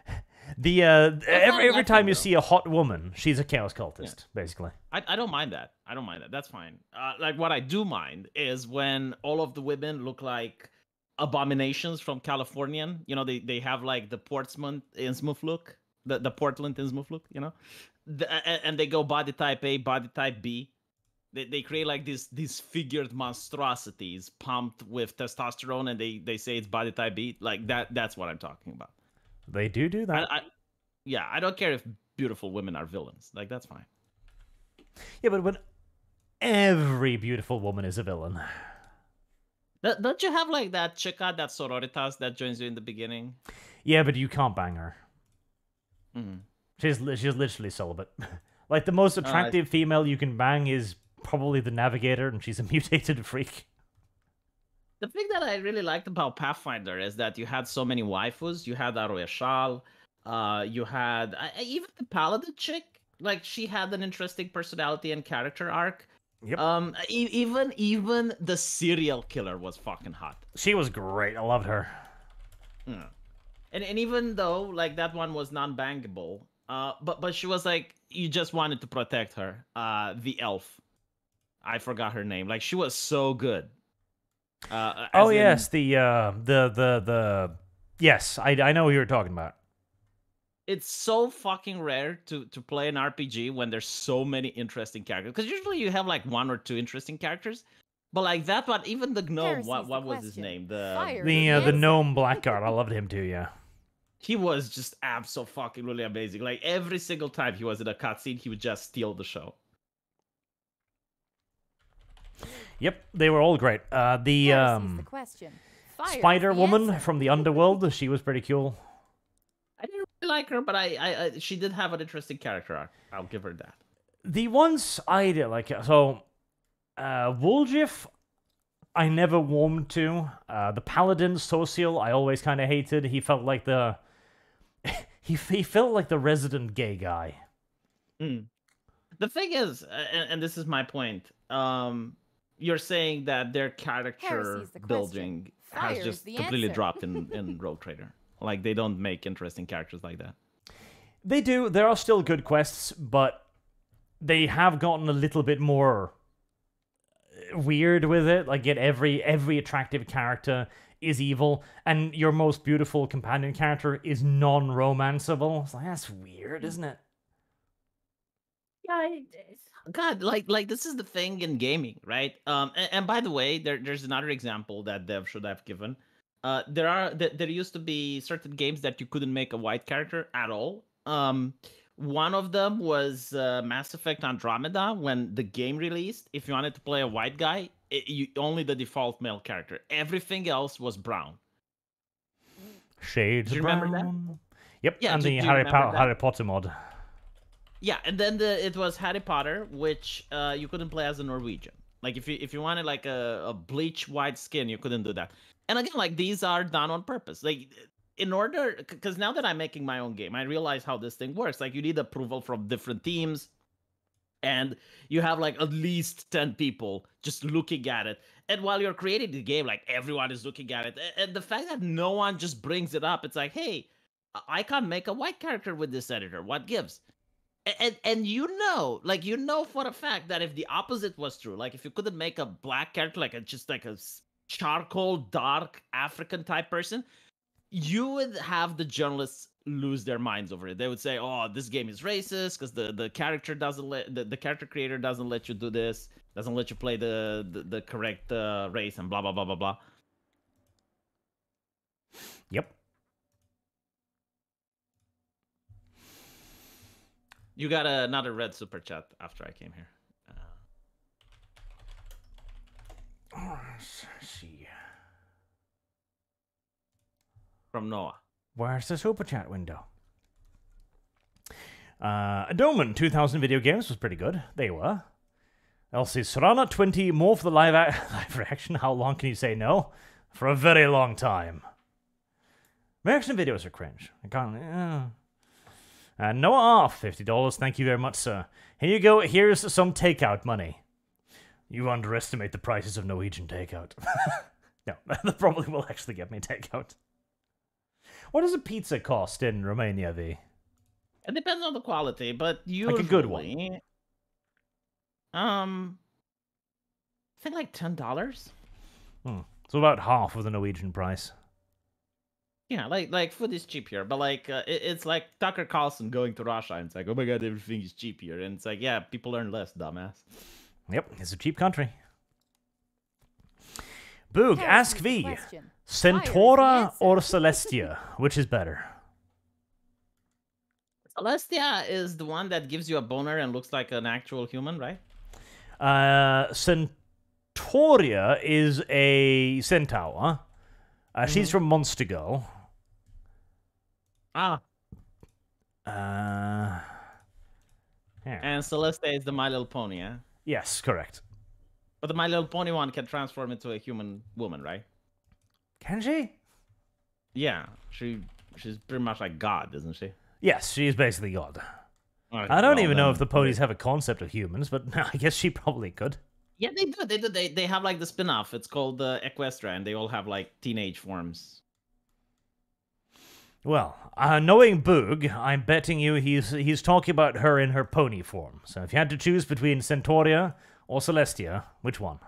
Well, gee, I don't know what the morality on Twitter is anymore because she may be but a child, and and if you lust after a drawing of an equestrian which is not carbon dated adequately, you get cancelled on Twitter. I'm pretty sure her lore is like she's 5,000 years old or something. You know, she may be minor coded. Look, Arch, it's all I think you're male making gaze, right? excuses. The, which all horse about would you rather have sex with? Uh, Heresy's the I question. don't know. I, I'm generally like the not into horses, but if I was forced to pick, I think like Celestia looks less than a horse because it's like cartoon drawn. So there we go. Alright, Celestia wins. Which one would you pick? Ah, I, ha- I had this discussion previously. Um, hmm. Hmm. I mean, if you're if you're committed to fucking a horse, which you are, because they both have a horseback ends, right? If Yeah, you're like, one is, committed, like more animated, one, one is like more cartoony, and the other one is like more realistic, I guess. yeah, but at the end of the day, you're fucking a horse's ass. So, at that point, I too think I have to go with Celestia because one, she's smaller, uh, which means her she's more manageable. Centaura is like 200 kilograms or something, and she's enormously tall. And two, uh, Celestia has magic. Centaura does not. Well, that is a good point. Yeah, so we're we're forced to to remain with Celestia. Yep, I'm I'm sorry. Like the when you're when you're fucking a horse's ass anyway, um, whether or not the front part is vaguely human shaped or not, it's it's almost irrelevant at that point. You've you've sunk about as low as you can. Do, do you think we would compete with Vaush for Celestia's affection? I don't know. I, I feel like Celestia might be repulsed by communists. Hmm. Didn't they have like an episode where they're promoting equality and stuff? Yep, and uh, the uh, the main character was the evil one, the char- the communist character, and then she goes through a lengthy redemption arc where she learns that no, communism is not the answer. The communists have the power of friendship, Arch, because like they, they go comrade this, comrade that, and and they may actually fit in the My Little Pony universe, which has the magic of friendship. No, uh, actually, the the communist episode uh, talked about this, and they came down conclusively that communism is not friendship and is not magic. So there, there you go. That's pretty based. God, I need to see the episode. Communism is not bad.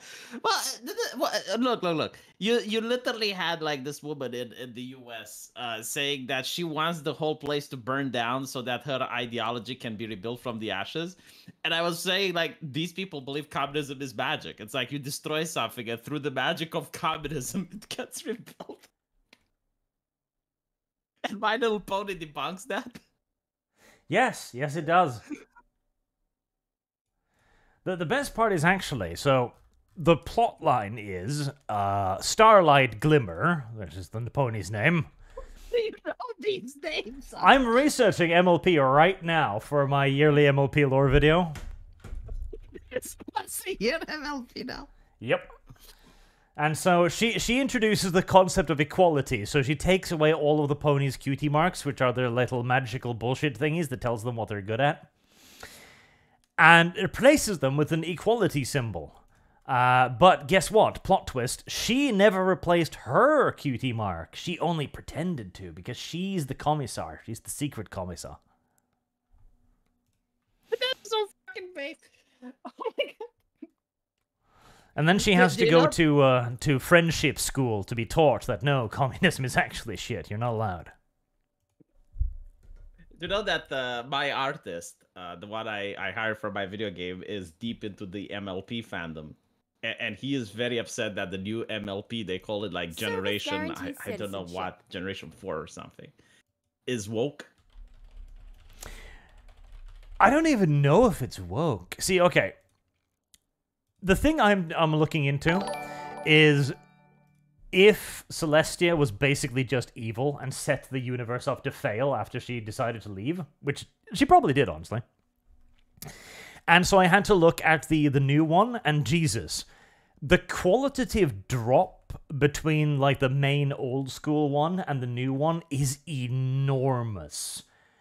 They they they have terrible. Like, MLP, for all of its faults, is a nice show in that it's just old school cartoons, right? It tries to teach it- you a and it has lesson. amazing- You, you know, I'll, I'll. I'll give you this. Fire is the Any answer. person that doesn't like MLP, you are guaranteed to like the songs. Like the songs are fucking dope. They're like old Disney songs. All Disney songs. Yeah. Th- don't you agree? Like the songs are amazing. I don't find them that good, but they're a whole lot better than the one the new ones. Hmm. And the new show is just garbage. Like it's really, really, really bad. And coming directly from one to the other, it is jarring how much worse it got. Why do you think that is? Like, didn't they sell the toys or what happened? Uh, they probably was because they tried to make it diverse. Like the new the news show is way more diverse. It had a diverse cast of voice actors, diverse cast of characters, blah blah blah blah blah. So it is woke. It is, but it doesn't really talk about wokeness at all. It doesn't really push an agenda. It's just more like behind the scenes woke. So- what does like uh, have to do with the quality? I mean, eh, okay, like, like are the voice actors not as good? Is it like the the artists not as good? Like All of it. why, Why would? Like All all of it. Hmm. Do you think Uh, that uh, in the future Hazbin Hotel, which is often compared to like the success of MLP, like a lot of bronies are now into Hazbin Hotel. Do you think like that in the future is going to become um, diverse? Possibly. Uh, I'll send you here this. So this is the art style for the new one, right? And tell Oh me, my god! they look like Why? fucking pigs, don't they? They do look like pigs. Uh, You know, you know who they look like? Uh, Miss Piggy from Muppets. Don't they fucking just like they they took like- yeah. they took a pretty good art style and they were like, how what if what if they look more like pigs? Yeah. And uh, I mean, it's uh, aren't going to fuck that. You know, there there's entire community and entire like websites after websites of Rule 44 or whatever it's called, 43, right? And- And they're not going to tap that. They're not they're not as it turns out. Because it's interesting, like the show was initially made for young girls, but it found a very niche and devout audience of 45 year old something men. It did. It did indeed. And, and those men, turns out, they have money and they were purchasing the merchandise. They were. The young girls weren't. Oh, no, no one likes My Little Pony. It's just like.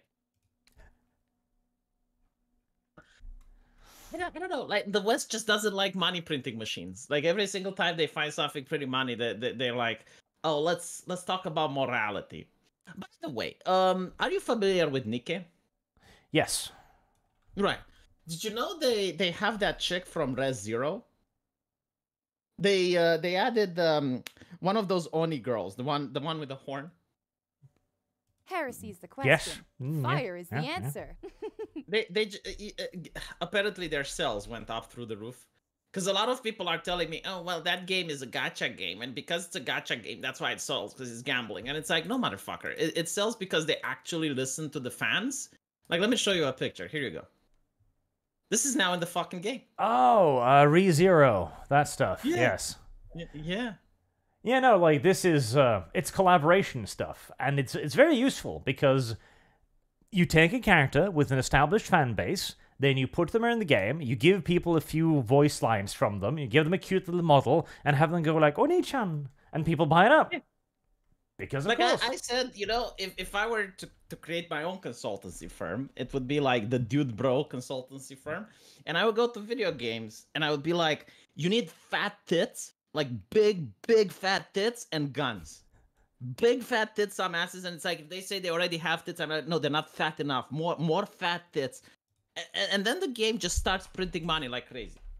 Doesn't matter what game. I, I don't care. No morality. Oh, but it's a guy. Oh, but she's but a chat. No, like big fat tits. What do you not understand? Right? Powerpuff Girls, big fat tits, and guns.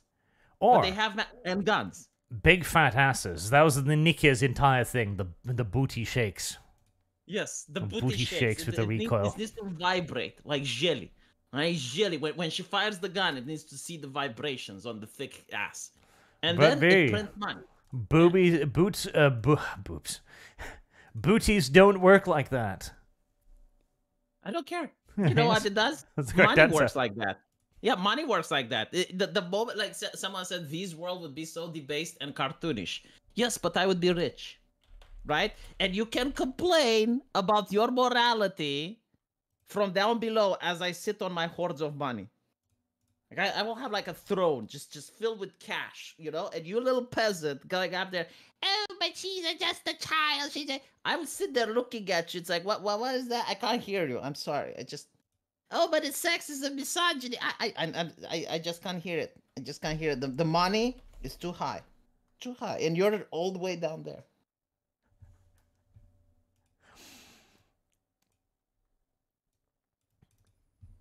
Does your game have big fat tits, Arch? Not yet. But it will, right? Maybe. It does have dummy what? mummies though. You should you should like the the humans. They they should have like posters for military recruitment with with big fat tits and guns. Now that it will have. Uh, Alex Adamson, I say definitely watch the anime. It is great. I shall consider it. Zero V, we are missing the early 2000 games. We are. Uh, Elsie Solano, Arch, no, Argenta isn't evil. Mm, mm, we'll see. Alexander's an Arch, you should play War on the Sea on stream. Maybe. I, do, I have too many stream games right now. I'll sit on 20 more. Time to give in. You're not going to get me to make reaction videos. I cannot be made to make reaction videos. I hate reaction videos. I You do- want to make a reaction video together, Arch? Mm, no, hate reaction videos. I think you did a reaction video with Kibbs. Mm, reaction videos gay. What does that say about Kibbs? That he's gay? What a horrible thing to say. No, he's gay. He's a legitimate homosexual. There's there's no doubt about this anymore. Kibbs likes big fat tits. Come on. No, it, it, he's never admitted to this ever. But when I show him stuff from my game, he he gives like the the thumbs up emoji. Yeah, but he would prefer it if you send him like send him a big fat cock pic and see if you get same reaction. I bet you will. Dankula's testicles. Yeah, Um, try. I was talking with Count Dankula and he gave me a pictures of his scrotum. I don't know why to this day. I don't know what they mean or why they're there, but I think I have them somewhere. So maybe I can send those to Kibbs. Do he'll like it? He's weird like that. You know what? I'll ask him. Hold on, Kibbs, are you homosexual? I, I need to. A guy under a bridge says, There's a game called For Honor where you play various knights, samurais, etc. You can have a black samurai, a black Viking, a black knight, but the Egyptians and Aztec hero, deep tan, is the lightest it gets. Weird. Strange. And Weird says, Princess Molestia is the spin off we deserve. And I saw that comment, so I prepared Princess Molestia for chat. I don't know much about Princess Molestia, but judging by the name, I'm relatively sure I can uh, Come up with an- citizenship. educated guess, shall we say. Black 917 has been a member for 15 months. Thank you very much. Hail Arch Christ, our Lord and Savior. Hi, V. Good to see you back. citizenship. Guest appearance. Uh, Zero V, when is your game coming out? Uh, hopefully this year. Service guarantees citizenship. Uh, Gabriel Narte, for the D&D campaign of Sargon, did you discuss the setting in detail before starting, or are you discovering it as you go? Well, I was under the impression I was going to be a priestess of Helm, which is why my character is rather strident, so we did get told some of it. A little, a little bit of both, I would say. Yeah. Uh, Zero, Nikke causes inflation, in many ways, yes. I, I actually said that on my channel. Yes, like Nikke is like uh, the the the Fed. It just causes inflation by existing. Isn't it sad that all that money goes to South Korea? Like all that money could have gone to the United States, but nay, Nay. nay. Driving. So in Comi LMLP, who's the Bronies Beria? Ah. was there one? I think it was only Starlight Glimmer, actually, who used her mind washing powers to turn everyone into supporters. Fire is the answer. Uh, Elsie Sonana, you once said you could be bought to do cringe things for 100. I've already given 60. Here's 100. Are you a man of your word? God damn it. But I don't want to do a react video. By the way, I saw I saw your um your short was a very good short. Uh, it, it talked about global warming and um, God damn it, what's the name? Uh, Terra Invicta. Ah, yes, global warming. When you can fix global warming by nuking Iceland. You can. Ironically, you can. Do you think that would work in real life? Probably, but it wouldn't work for very long because um uh the reason why it works in Terra Invicta is because it simulates er, uh, like dirt being aerosolized and kicked up into the atmosphere, uh, blocking the sun's rays. So eventually it would clear out. So it wouldn't it wouldn't work for very long, basically. But can't you nuke again when it clears out? Well, you probably can, but I'm imagining the fallout eventually gets a bit annoying. Did they upgrade that game? Because I remember um, when when I was playing, it was very uh, the the Earth part of the game was very uh, bare bones. They have updated it quite a bit. So the the core gameplay remains quite slow though. So hmm. One of the problems that I had is that uh, if you had a nation, you couldn't just declare war and conquer another nation. You can, uh, so long as you have a claim on it. But you must have a claim on whatever you're getting. Yeah, like from what I got is like you can make the European Union an empire. Um, if you're China, you can lay. Uh, if you're Russia, you can lay claims to the Soviet Union. Um, China also has like the Asian unification thing. Yes. You can create super states, but uh, only if you manage to get the correct claims and rationales Heresy's for it. Question. Fire is the Can answer. you uh, destroy a faction? Because I remember that was a problem. Like there, there were people that um, like would completely decimate another faction, and they can still just pop up, and it was annoying. Yep, you can't wipe out factions even now. Which Someone, is like, had a a had a way to do it. It's like with assassinations and just leaving one country so that faction would take that country and then they would assassinate the operative the next turn. I don't know about that. Maybe. I know there were some exploits that you could do to more or less neutralize a faction. Mm. And speaking of factions, I don't know if you still follow, but the Dune game has House X as a faction now. Of course it does. Is it led by a black woman? I don't, I, I don't think so. Wow, that's unusual.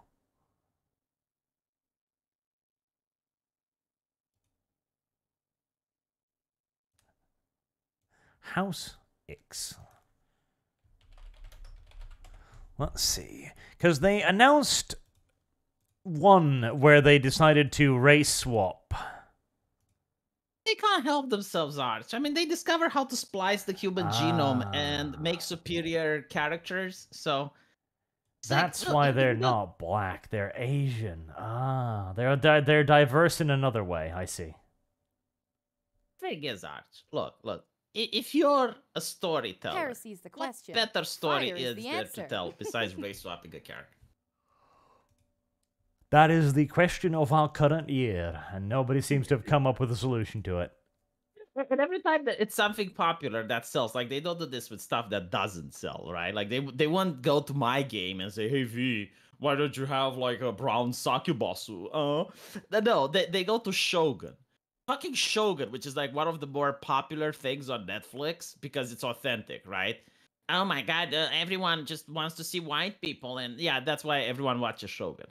And the the, the journalists are, but why aren't there black people in Shogun?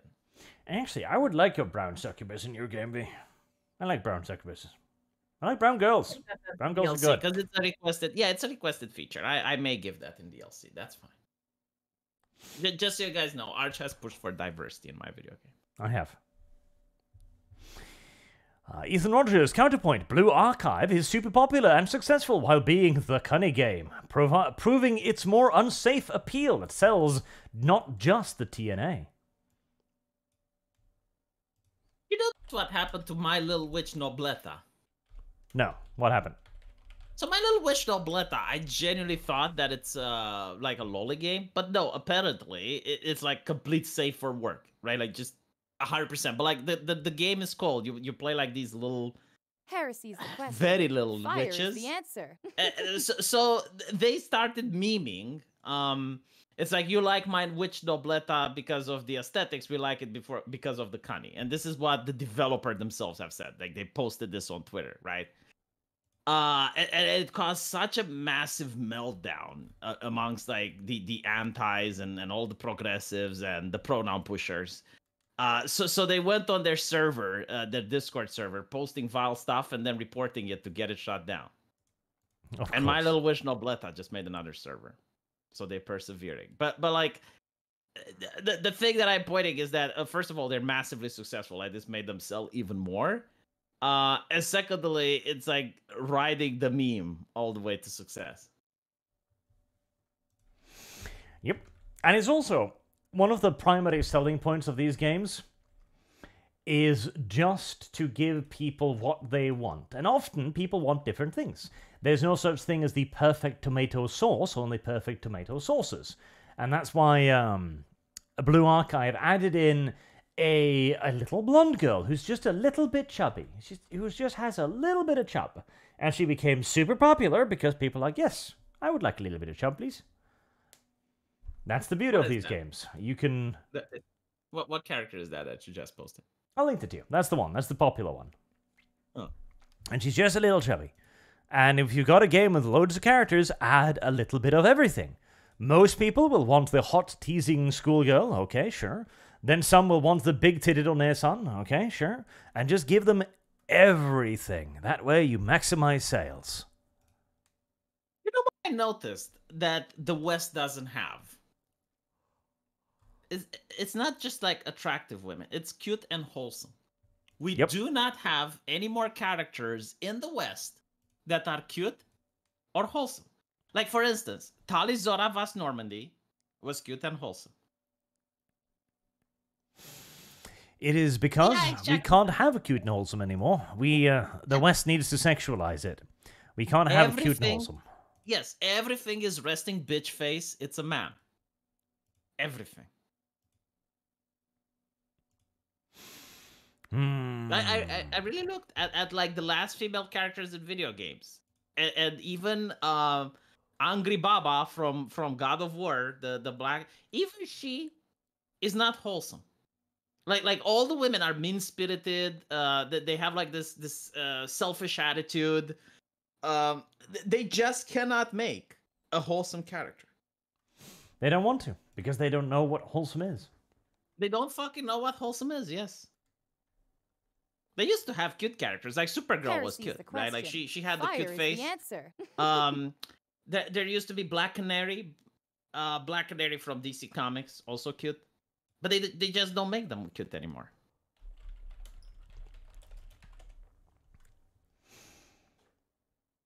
so did you know that mcdonald's released a new anime commercial but this time around they banned it in the west Which is probably the smart thing to do. why like you want the commercial to be seen by the most amount of people Yes, but he wanted it to be viewed by the most amount of people who are interested in watching it. See, that's the thing. Getting seen is not the not the objective anymore. guarantees citizenship. You need positive attention. That's the difficult part. And the Japanese have realized that the Americans are far too sensitive, and so they're just going to advertise to the Japanese market. Oh no, come on! There was more positivity for the wholesome commercial than the negativity. Like, like the there thing was, is, but for a company, any negativity is bad. Like for for a company like but now they get McDonald's, more negativity. Now, now they actually get negativity, right? Eh, because the thing is like this, right? Well, why do you advertise as McDonald's? Because everyone knows what McDonald's is. Like, like no one that that's in the West now goes like, oh, what what is this brand?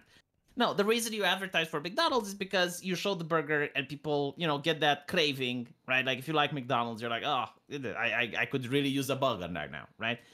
So so the, the the McDonald's Japan did exactly that. It's like people talk about McDonald's that they want to go and have a burger, whatever. Now that they did this, everyone in the West is pissed off. Now they're getting actual negativity because before it was like a couple of weirdos on Twitter and no one could actually say, "Oh well, McDonald's Japan is doing a bad thing." Now they are trending for all the wrong reasons, and people are like, "Shame on you!" You know, you like like we know what you're doing. Um. So yeah, It is about maintaining brand visibility. And for a company like that, it, it's not even about just getting you to want the burger. It is about keeping a positive image. They they can't have a negative image. They gotta continuously be viewed as a positive force. That's why they do the stupid charity stuff, for example. Like the company doesn't care, but it's very nice to put their brand on a charity thing. Usually they they also get tax deductible. That too. Uh, Black 1917 says, Where are her organs? That is a good question, says the Wokeland whale. Exactly where they're supposed to be is the correct response. And Boog Arch did not watch Equestria Girls. He missed lore. Equestria Girls is not canon. I, I, I don't accept it. I do not accept it. Uh, Blaze Stone, 50 Canadians. No idea what it is about, but torturing Arch is the sport for chat, as far as I'm concerned. Here's 50 to force you to do reaction video. Reacting to what? No idea. Took it in a break and missed that part, lol. all right, all right, all right. Here, here we go. Show me one that's cute and wholesome. No, seriously, I'm, I'm not kidding. Like, and, and if you can show the chat, maybe people in the chat can. But like, all of these are from major titles that came out. Like, I'm not cherry picking them or anything, right? All right, let's reload it. They all look like men, don't they? Like Ah. ninety percent of them. Ugly men. Yeah. Well, one looks like um, what's her name? Um, the How Dare You chick, the the Greta Thunberg. Yeah.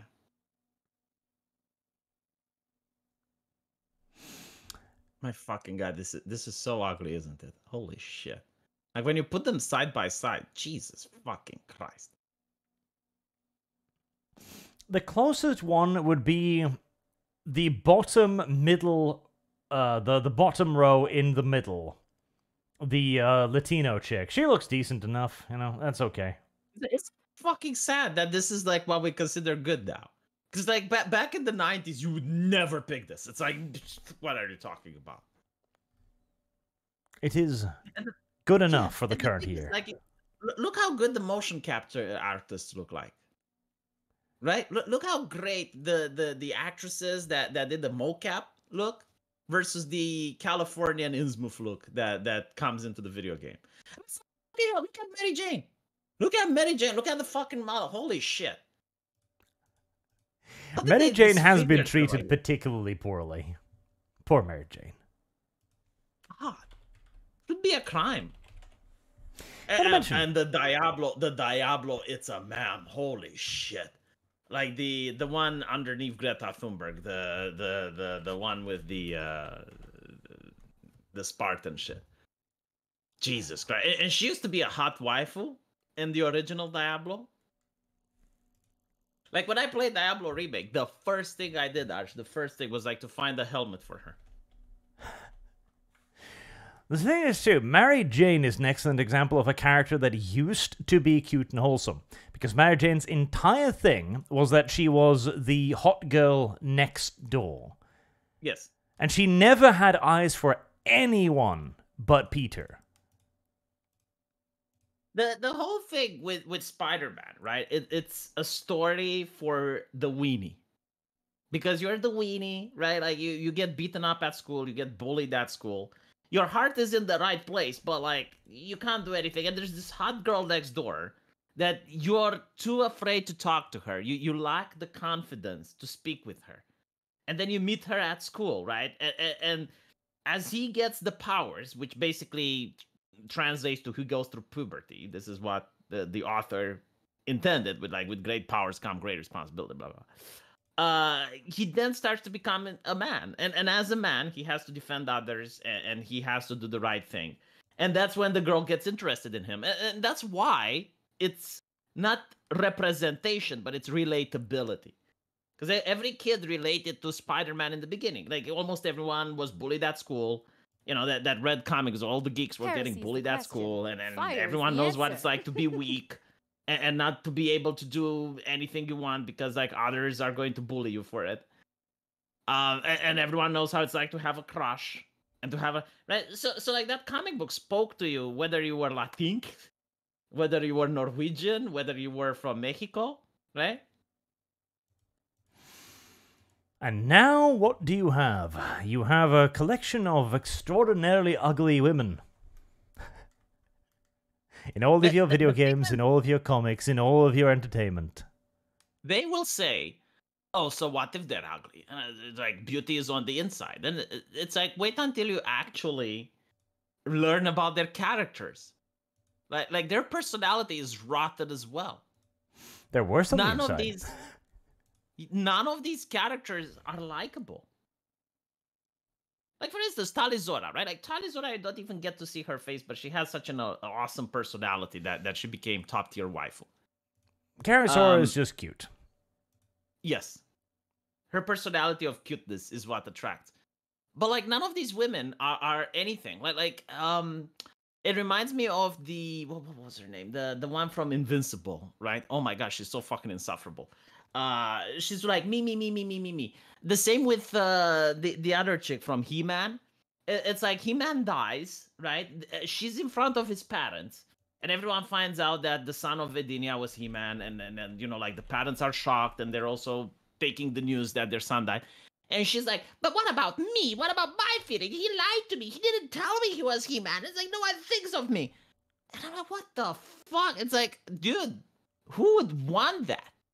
Like you are He Man, you can have any bitch you want from the entire fucking kingdom. Like, like you're the prince, right? You, can literally be, and not only you're the prince, you you look just like like He Man, right? He, he can literally seduce any woman he wants, just just any woman. And he goes for the most ugly, most mean spirited, most evil and twisted bitch in the kingdom, and it like it, it just breaks immersion. Like there is no fucking way that a man like He-Man would choose her as his girlfriend. Unless he's under a gun, unless they have like arranged marriages in that kingdom, uh, unless he's like forced, compelled to like her. He has his princely duties, you must understand. That's the only explanation where it would make sense.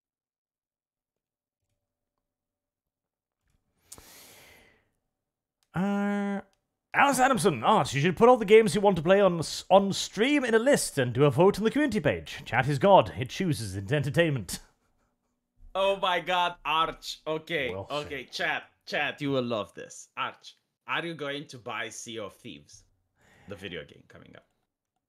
Sea of Thieves coming out. That's ancient, isn't it? Is it? Yeah. Okay. Are you going to I, I, are you going to purchase it now?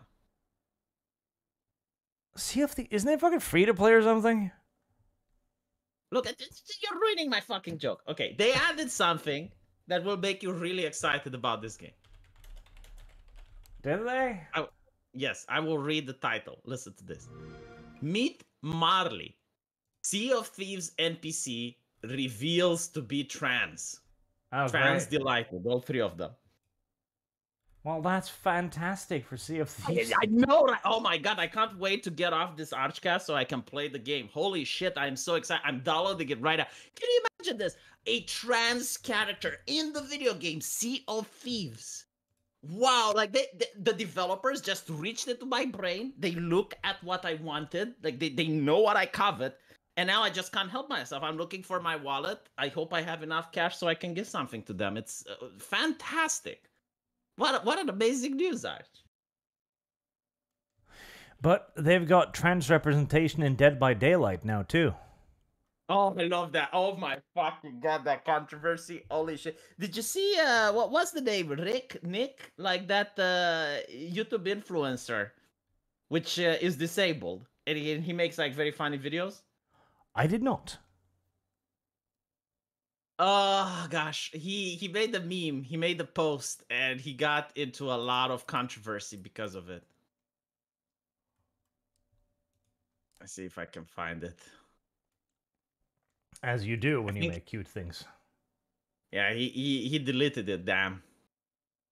But uh yeah, so like uh the voice actor uh who who played the the the character in, in the horror game uh didn't like the the visage, I suppose, of how the character came out. So uh they're asking for reparations. Yes, yeah, I did okay, see on. that. I, I will show you the uh you, you you can show this to chat. Now some people say that uh, well actually you know what? Maybe maybe I should tell you after the Archcast is over. Maybe. Uh, You know only-? Fuck it. Um some people say that there is a, a, a small, very small um resemblance uh between the picture and and the, the person um very mean spirited thing to say but it is possible that the illustrator for the model decided to take the piss Uh, is it?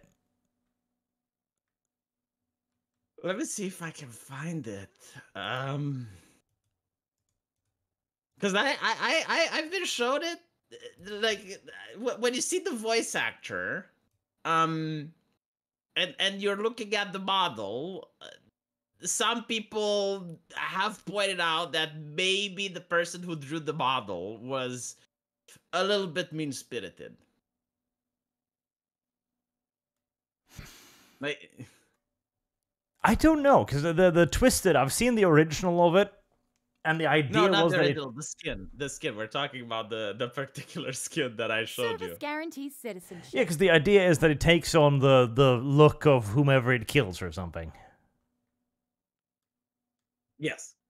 Well, not not necessarily. It's yeah, th- th- not not from the players though. but- Service guarantees citizenship. Uh, so hold on, let me see if I can find the person. Voice actor, the unknown.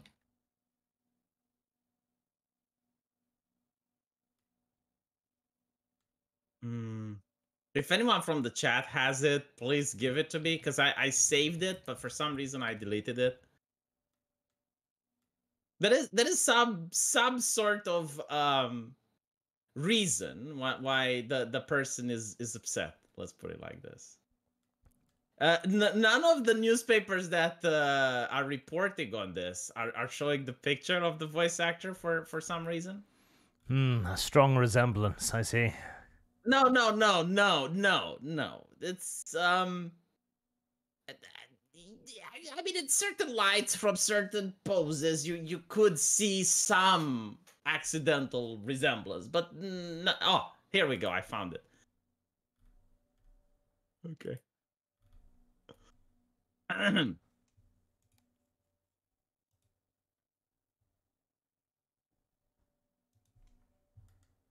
to be honest, it's, it's also the fact that the voice actor started talking about this because otherwise people wouldn't have looked. Service guarantees citizenship.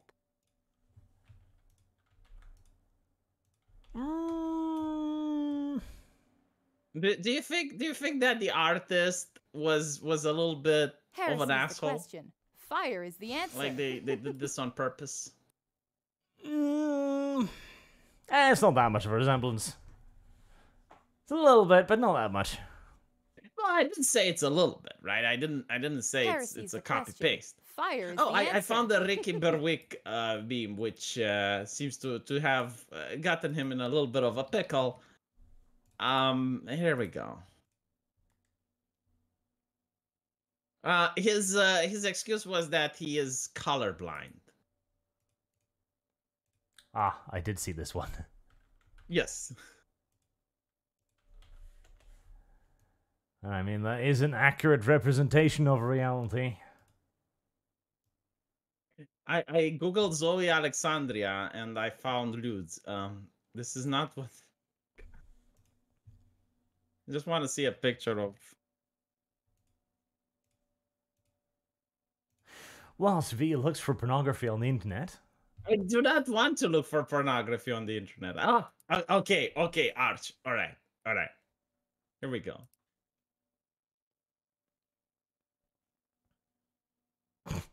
That's a lot. That's a much question. worse angle. Fire yes. is the answer. It is, it is right. So it, it, it, it does require certain angles in order to.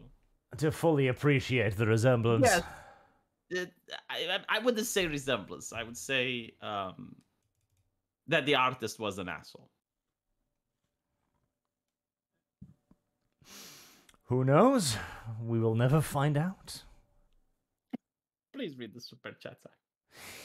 Uh, Lord comes a Spartan. A note for Little Witch Nobeta. The game has an official fanbox account that is remarkably cute and funny. LOL. Does it now? Uh, Dreyfy, Mass E kinda into Jack. I am into that weird shit. I don't even know what that's referring to now. Uh, James Coon, will you play Manor Lords and Hello Arch and Vee? I am intending to play Manor Lords, yes. When is it coming out? Manor Lords. I think it's you, you, I, I finally realized what it is, Arch.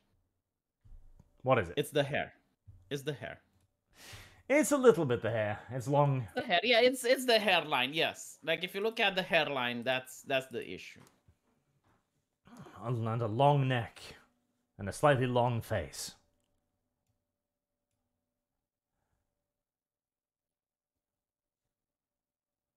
I should go back to Mary Jane. A. So trans people are a sea of thieves. Hmm. Blaystone, so are you doing a reaction video now at 155 per peer pressure and counting? We'll, we'll, we'll do something with it. I'm just not. Oh, I'll come up with something. Uh, Zero, I think Kingdom Come was the last Western RPG that had cute, wholesome female characters. To be honest, the journals hated that game for many reasons. They did. Soul Lich, Dead by Daylight monster is coming for your children. It wants to teach them not to hate. And Black 1917, if you want to see trans done right, watch Vandred. The chick who is a dude isn't revealed till close to the end of the series with no hint to the reveal at any point. I do remember that now that you mention it. The, the Vandred anime. So none hmm. of the journalists ever ask the developers to stop harassing gamers. That's weird. Like I, I, I seen the bitch boy short fat otaku going around. It's like, oh my god, can we stop harassing people? The journalists go like, hey, developers, can you stop harassing the gamers? Can you stop being cancel pigs for five seconds? Hey, Sweet Baby Inc, Sweet Baby Jesus, Sweet Baby Jesus, can you stop being cancel pigs just for like five minutes? Leave Asmongold alone. Shut the fuck up. Leave me alone. They never do that, do they? They don't. They don't. What do you think that is, Arch? Because they're highly partisan hacks. Do you think they do you think they masturbate to that? Like like when someone goes out of their way in order to harass a VTuber for playing Hogwarts, do you think a game journalist is like, oh yeah, that's the shit. Oh baby, but better record it so I can watch it again next time I have the urge. They might. They unironically might. I do, I do think they, they yeah. No, I, I generally think they might. Yeah. Zero Firewatch asks, Vee, why discriminate against flat girls? Well, you do actually have a reason for why there are no flat succubi, don't you? Okay, so if you look at Steam and their regulations, initially, it was like if it's legal, you can have it on Steam. So any video game can be on Steam as long as it's legal, right? So like no lolly shit. And, and most people agreed. It's like okay, fine, you know, like, like it, it's easy to tell what a lolly is. So so no prepubescent girl, fine. Then they went actually no, no minors. So even if the girl is 17, right? So like if it's uh, My Hero Academia type of thing, Senran Kagura shit, no, not not on Steam. You can have it, but somewhere else, not on Steam. And people were like, oh, well, I mean, I mean, I guess that's reasonable, right? So we'll just put a disclaimer: all the girls in our game are 80 plus, 18 plus. Uh, and then the rules changed again. It's like, well, no, actually, even if all of your girls in the game, story-wise, are 18 plus, uh, if they look as if they're minors, uh, then we will ban your game. And people are like, oh shit, all right, so now let's give them fat tits. Uh, let, let's give them massive asses because if they look like, I don't know, Senran Kagura girls, then, uh, well, that that's a problem, right? So that's why every single game on Steam now from the in uh, the um that that's rated M for mature or above is going to have massive tits. Uh, because they, they will ban even games that aren't adult only. Like there was a game uh, which took place in a high school. All of the characters were adult, but it was the students fighting against demons and zombies. It was very violent. So so because of the violence, it got aimed for mature, and Steam wouldn't allow it because it's like uh, violence with with minors, with high schoolers. So it's Steam policy. That's why. In policy.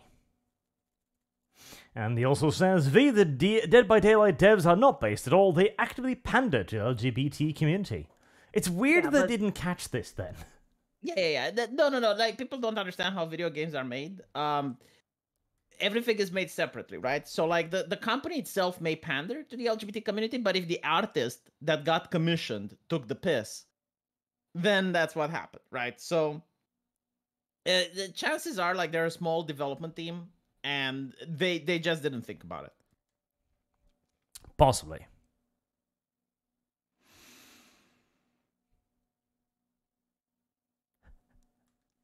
Let's see. Is that. I think that is everything. Right. Gosh, we will wrap it up there then. Thank you all very much for uh, watching. Thank you for your very generous donations as always. And thank you, Vee, for popping by. And thank you for having me. And we'll see you all again next week. Have a good night. Oh, Dryfeed, Jack from Mass Effect. If she's not a tomboy, I don't know what is, though, of course, Tali and Miranda were up there as well. Ah, Jack. Oh, that Jack. I liked her with hair. I hated her bald. Yeah, I don't I don't like bald women. I'm Yeah. sorry. Bald women, weird. Yeah.